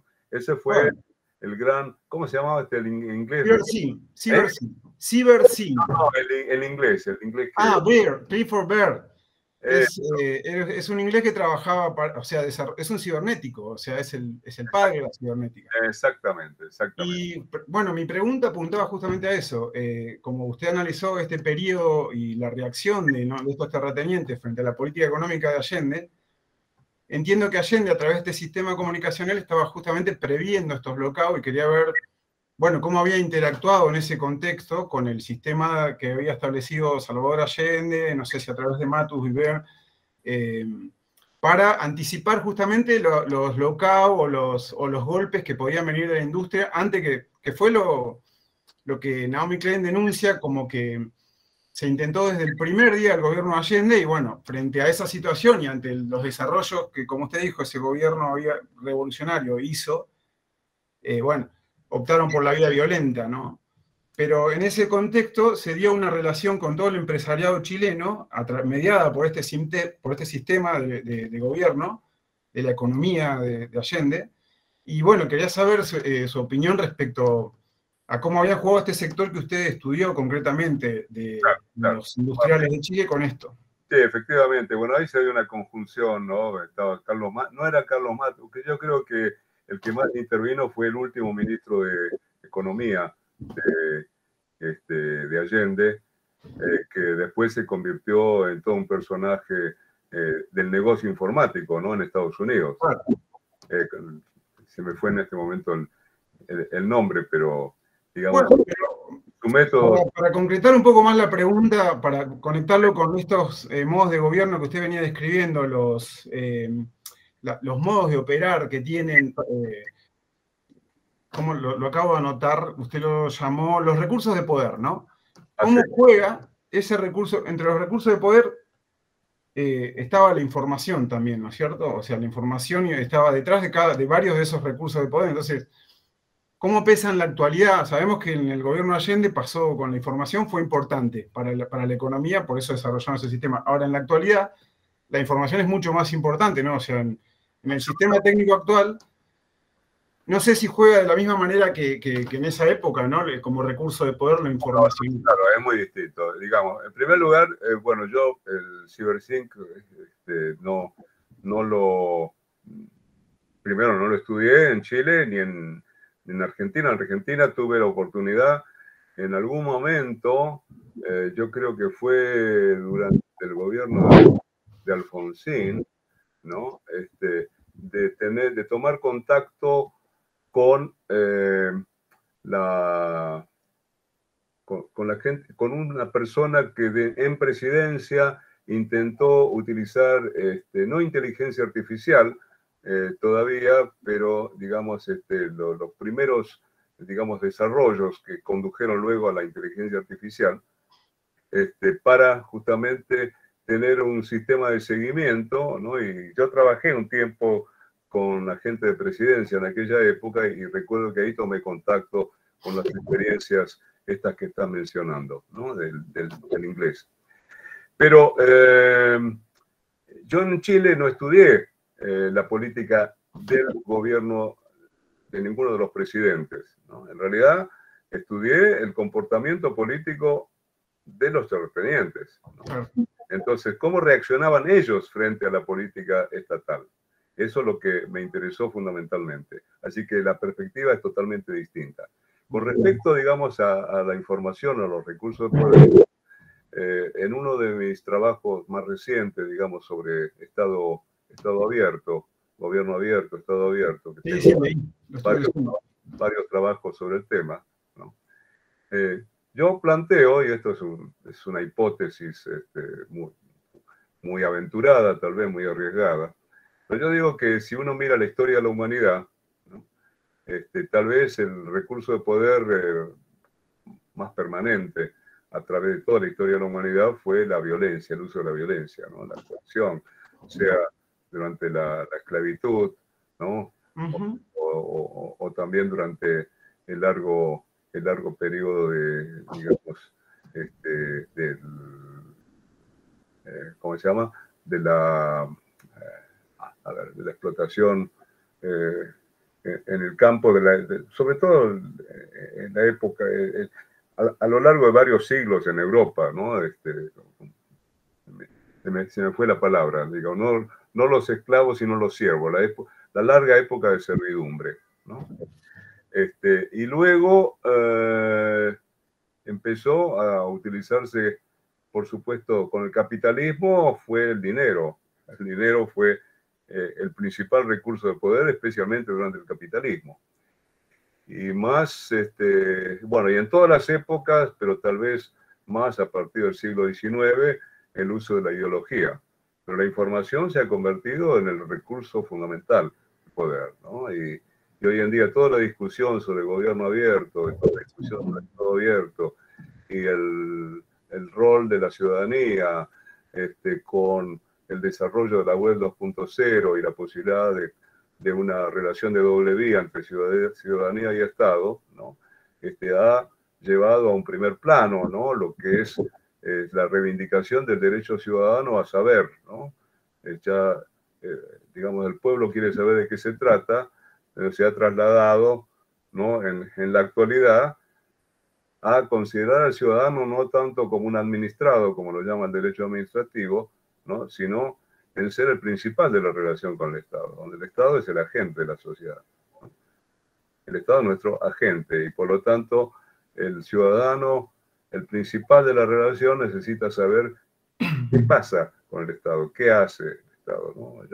a veces este, eh, se me ocurre que algún día, eh, no a mí, porque jamás me someteré a esa a esa operación, pero a algunos de ustedes tal vez, o a los hijos de ustedes, o a los nietos de ustedes, les implanten algún chip, ¿no? Que le va a permitir conocer online qué es lo que está haciendo el gobierno en cada momento y en qué medida lo que está haciendo los favorece o los perjudica, ¿no? Este, eso sería, digamos, una eh, información procesada instantáneamente en línea, ¿no? Este, que permite al principal de la relación saber si el agente está cumpliendo con lo que prometió. Este, pero bueno, eh, y va, por lo tanto va a ser cada vez más importante. Sí, sí. Esa, pues, esa es mi posible respuesta a tu pregunta. No, está bien, fue muy claro. Aparte, además estuve leyendo un poco de su libro sobre ese tema y, la asociación que hace con la hiperracionalización de la que hablaba Weber, ¿no? Hacia donde, hacia donde tendemos y este, me gustó la asociación que hizo ahí. Bueno. Muy bien, a ver.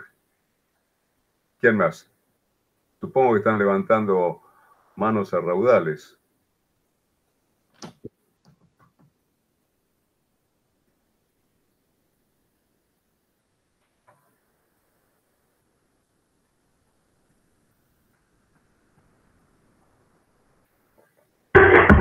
Ahí puede ver en donde dice investigación y extensión, que no es mi voz, que se ve parte del curso. Sí. Estamos en el aula, pero nos cuesta tener una cámara. No, no importa. El panorama. No importa, lo escucho. Lo escucho. La o lo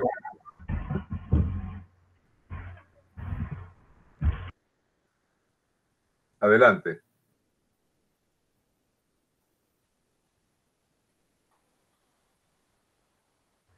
Acá está todo el mundo pasmado, sin oportunidad de emitir palabra. No sé si alguien en el chat o, o quieren prender el micrófono para realizar una consulta. Anímense. Explótenme, aprovechenme.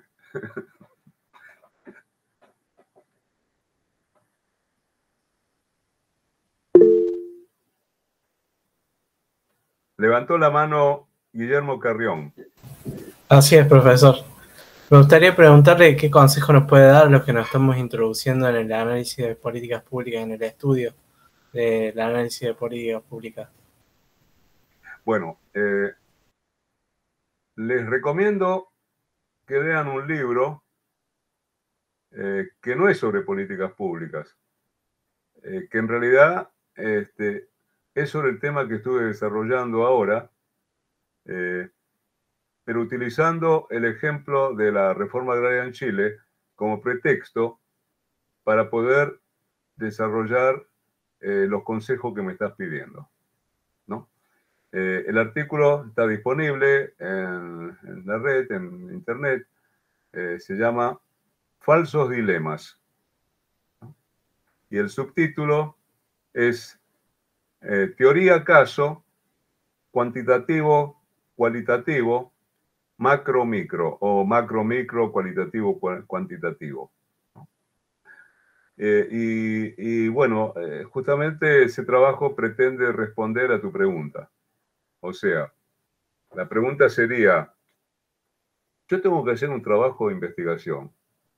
Quisiera analizar el tema de la asignación universal por hijo. Entonces, mi respuesta sería, ¿por qué querés analizar la asignación universal por hijo? ¿Cuál sería la pregunta de vida en la que correspondería hacerse? La pregunta que correspondería hacerse es, este, ¿qué quiero saber? ¿Qué quiero aportar al conocimiento?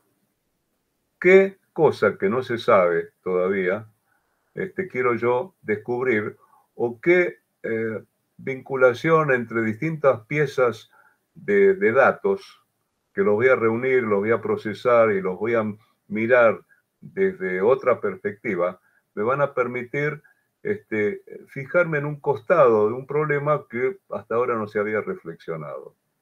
No, hace falta que todo sea novedoso. No, nosotros partimos de datos. Partimos de datos que tenemos que combinar para convertirlos en información. Y tenemos que combinar informaciones para convertirlo en conocimiento.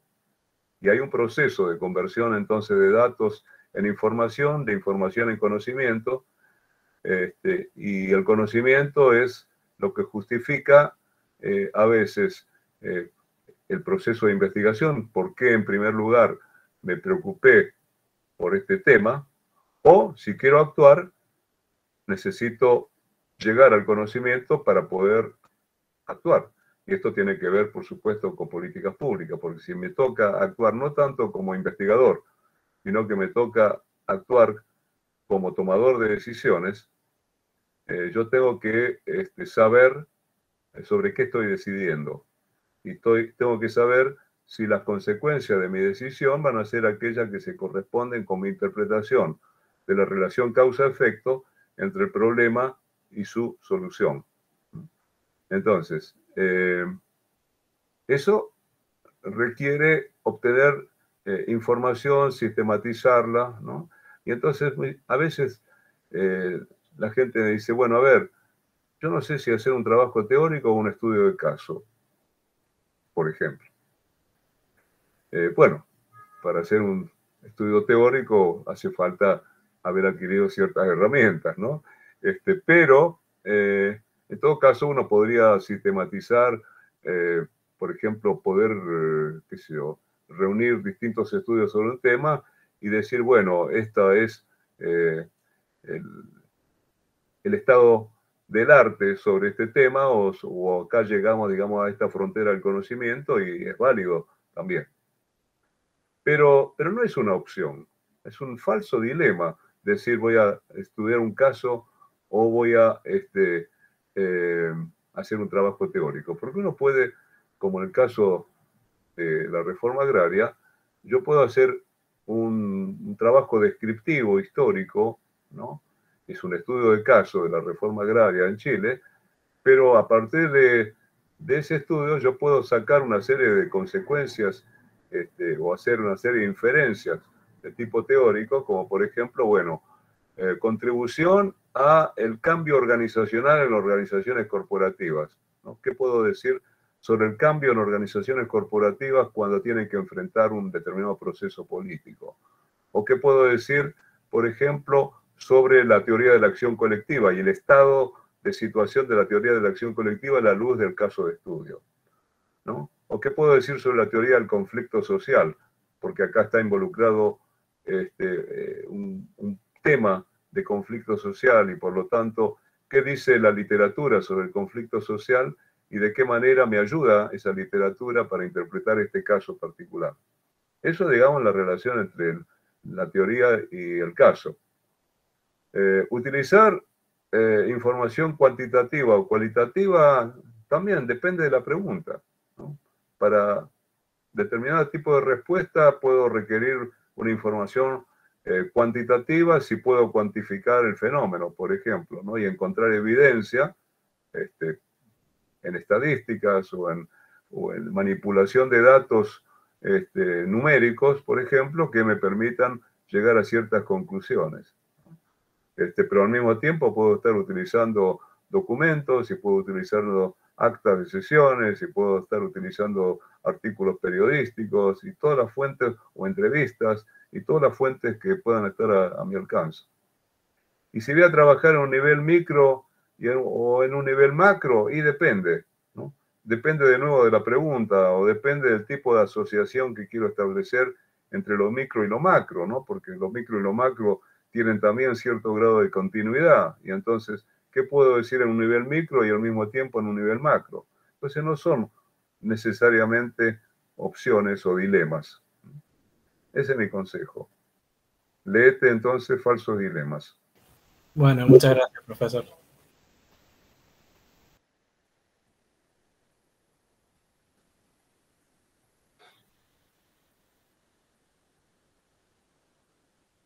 Bueno, no tengo tiempo para tratar un tema nuevo. Yo podría hablar eh, durante horas sobre política pública. prefiero responder a, las inquietudes o preguntas.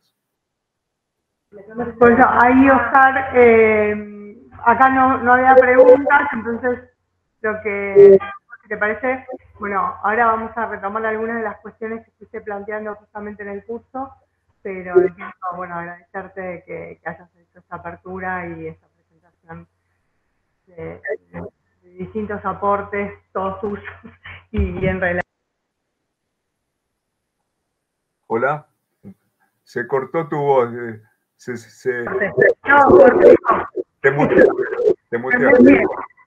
No sé, hace un ruido raro, por eso acopla. Estamos con algunos problemas eh, tecnológicos a veces y, y, eso lo hace difícil. Pero bueno, te, te agradecemos mucho la participación y la presentación, que ahora retomaremos y vos antes preguntaste, el, texto estaba está en la bibliografía, así que... Ah, está en la bibliografía, bueno, Mejor todavía entonces. Así que bueno. Bueno, Eh, que, que, por lo menos este, haber introducido algunos temas que seguro eh, vale, va a desarrollar en, en, las horas de cátedra que va a tener con este, va a estar, van a estar en muy buenas manos. ¿no? Este, y ella domina totalmente este, la, la, temática, de manera que me alegra mucho haber estado asociado a, a esta propuesta este, y haber tenido la oportunidad de, de, dirigirme a ustedes con un tema que para mí es siempre renovado y es, y es objeto de reflexión permanente. Así que, eh, bueno, gracias por la atención y será cualquier otro momento. Doctor Oslak, bueno, muchas gracias. Acá el público, los que lo pueden ver, les damos un aplauso y seguramente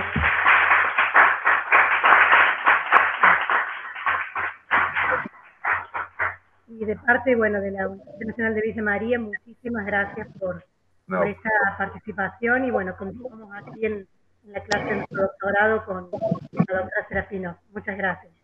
Como siempre, a las órdenes. Adiós.